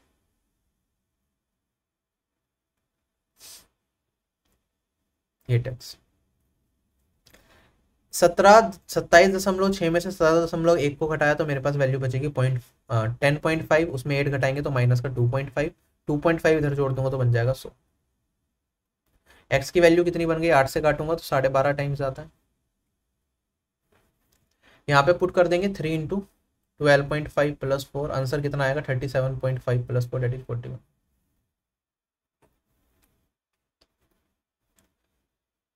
आगे बढ़ते हैं। लास्ट क्वेश्चन है ये हमारी क्लास का। Again very interesting question question में क्या कहता है? हमारे पास करा देता हूँ, मैं होमवर्क में दे सकता हूँ, लेकिन काफ़ी क्वेश्चन लोग कर नहीं पाएँगे कंफ्यूज हो जाएँगे। और हो सकता है करें तो बेसिक से करें, बहुत लंबा चल ले जाए। गड़बड़ कर दें करने में तो मे भी दिक्कत ना आए, इसलिए मैं करा देता हूँ। मेरे पास दो सेक्शन है ए और बी उसमें चालीस स्टूडेंट्स हैं दोनों में, चालीस चालीस। एवरेज वेट दे रखा है सेक्शन ए में इतना है और सेक्शन बी में इतना है। दो स्टूडेंट जिनका एवरेज वेट 48.75 केजी है सेक्शन ए से निकाल के सेक्शन बी में डाल दिए जाते हैं और दो स्टूडेंट्स सेक्शन बी से निकाल के सेक्शन ए में डाल दिए जाते हैं। जिसकी वजह से दोनों सेक्शन का जो एवरेज वेट है वो इक्वल बन जाता है। हमें बताना है, उन दो स्टूडेंट्स का वेट बचा दो जो सेक्शन बी से सेक्शन ए में ट्रांसफ़र किए गए हैं, ठीक है? स्टेटमेंट मैंने पूरी बोल दी, आप एक बार क्वेश्चन को पढ़ो, खुद समझो क्वेश्चन में क्या दे रखा खुद ट्राई करो, फिर सोल्व करना अब मैं सोल्व करना स्टार्ट करता हूँ। देखो, चालीस स्टूडेंट्स हैं एवरेज वेट इतना दे रखा था, क्या मैं सम निकाल सकता हूँ? चालीस स्टूडेंट्स का सेक्शन ए की बात करता हूँ सम कितना होगा? फोर्टी फाइव पॉइंट फाइव के जी होगा। सेक्शन बी की बात करूँगा average weight forty four point two दे रखा है तो चालीस स्टूडेंट्स हैं फोर्टी फोर पॉइंट टू इनका एवरेज वेट आ गया, ठीक है? अब सेक्शन ए से हमने क्या करा? दो स्टूडेंट्स को निकाल दिया, जिनका एवरेज वेट इतना था तो कितने सम मेरा माइनस होगा? आपको होगा टू इंटू में मेरे पास forty eight point seven five इतना वेट मेरा क्या हो गया? कम हो गया। सेक्शन बी की बात करूँ अब ये दो स्टूडेंट्स यहाँ पे जाके जुड़ेंगे। तो इसका सम कितना हो जाएगा? सभी स्टूडेंट्स के वेट का सम 48.75 ये हो जाएगा। अब आगे कहते हैं हमारे पास। दो स्टूडेंट सेक्शन बी से घटाए डाले गए सेक्शन ए के अंदर और उन दो स्टूडेंट्स का ही हमें एवरेज वेट बताना है। तो उन दो स्टूडेंट्स की बात करूँ, मैं मान लेता हूँ यहाँ पे दो स्टूडेंट्स जो यहाँ से घटाए गए, उनका एवरेज वेट है एक्स तो टू एक्स मैंने यहाँ से घटाया और ये दो स्टूडेंट्स यहाँ जुड़ जाएँगे तो यहाँ पे टू एक्स एड हो जाएगा। दोनों सेक्शंस के अंदर मेरे पास सम आ गया। अब फाइनली मेरे पास वेट का सम कितना है? क्वेश्चन में क्या था, जो एवरेज वेट है ना, दोनों सेक्शंस का बराबर बन जाता है। तो अब टोटल नंबर ऑफ़ स्टूडेंट से डिवाइड करना पड़ेगा, ये सम है। एवरेज निकालने के लिए टोटल स्टूडेंट से डिवाइड करेंगे। पहले चालीस थे, दो निकले, दो आ गए। तो टोटल कितने स्टूडेंट बचे? चालीस माइनस दो प्लस दो। ऐसे ही यहाँ की बात करता हूँ, चालीस स्टूडेंट से दो जुड़े और दो छोड़ के चले गए। तो यहाँ पे भी इतने स्टूडेंट्स होंगे। अब एवरेज निकल गया दोनों का, वो बराबर दे रखा है तो ये बराबर कर दिया। क्या मेरे पास ये भी चालीस आएगा और ये भी चालीस आएगा, कट जाएगा? एवरेज था। कट गया। अगर मैं सम की बात करता हूँ, आप यहाँ पे देखो। चालीस स्टूडेंट्स हैं एवरेज वेट इतना। चालीस स्टूडेंट्स हैं एवरेज वेट इतना। तो अगर मैं चालीस को कॉमन ले लेता तो मेरे पास वैल्यू यहाँ पे क्या बचती? क्या ये forty five point five minus forty four point two करता मैं? तो वैल्यू आ जाती मेरे पास वन पॉइंट थ्री यहाँ पे two into forty eight point seven five है, यहाँ पे भी two into forty eight point seven five है, इधर जाके जुड़ जाएगा। क्या ये फोर इंटू में forty eight point seven five होगा।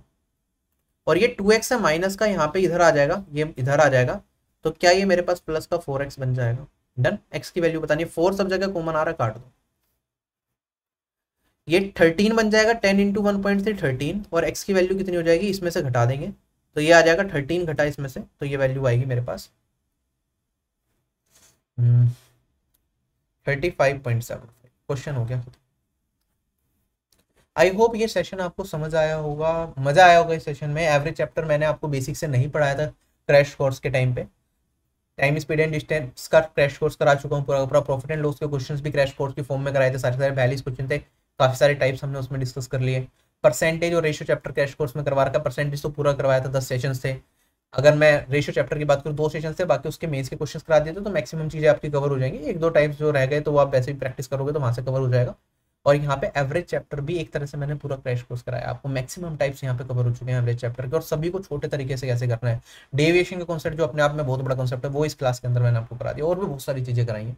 ठीक है? तो ये सेशन बहुत ज़्यादा इंपॉर्टेंट है सेव करके ज़रूर रखें और से मल्टीपल टाइम्स रिवाइज करें क्योंकि एवरेज चैप्टर एक बार के में क्लियर नहीं होता। डेविएशन के कॉन्सेप्ट प्रैक्टिस के साथ इंप्रूव होते हैं। मैक्सिमम क्वेश्चन की आप प्रैक्टिस करें। ठीक है? तो ये सेशन मेरा यहीं तक था। टेलीग्राम चैनल ज्वाइन नहीं किया ज्वाइन करो भैया। इंपॉर्टेंट वीडियो सारी वहीं मिलेगी। कोई इंपॉर्टेंट इन्फॉर्मेशन है वो वहाँ मिलेगी। क्लास का टाइम कब होगा, कैसे होगी क्लास उसकी इन्फॉर्मेशन आपको वहाँ मिलेगी। तो टेलीग्राम चैनल ज्वाइन नहीं किया ज्वाइन कर लेना। डिस्क्रिप्शन बॉक्स में है। At the rate R B underscore S use करके भी टेलीग्राम पर आप सर्च कर सकते हो। तो इस वीडियो में आपसे यही बता लेता हूँ। Bye bye everyone take care have a nice day and Jai Hind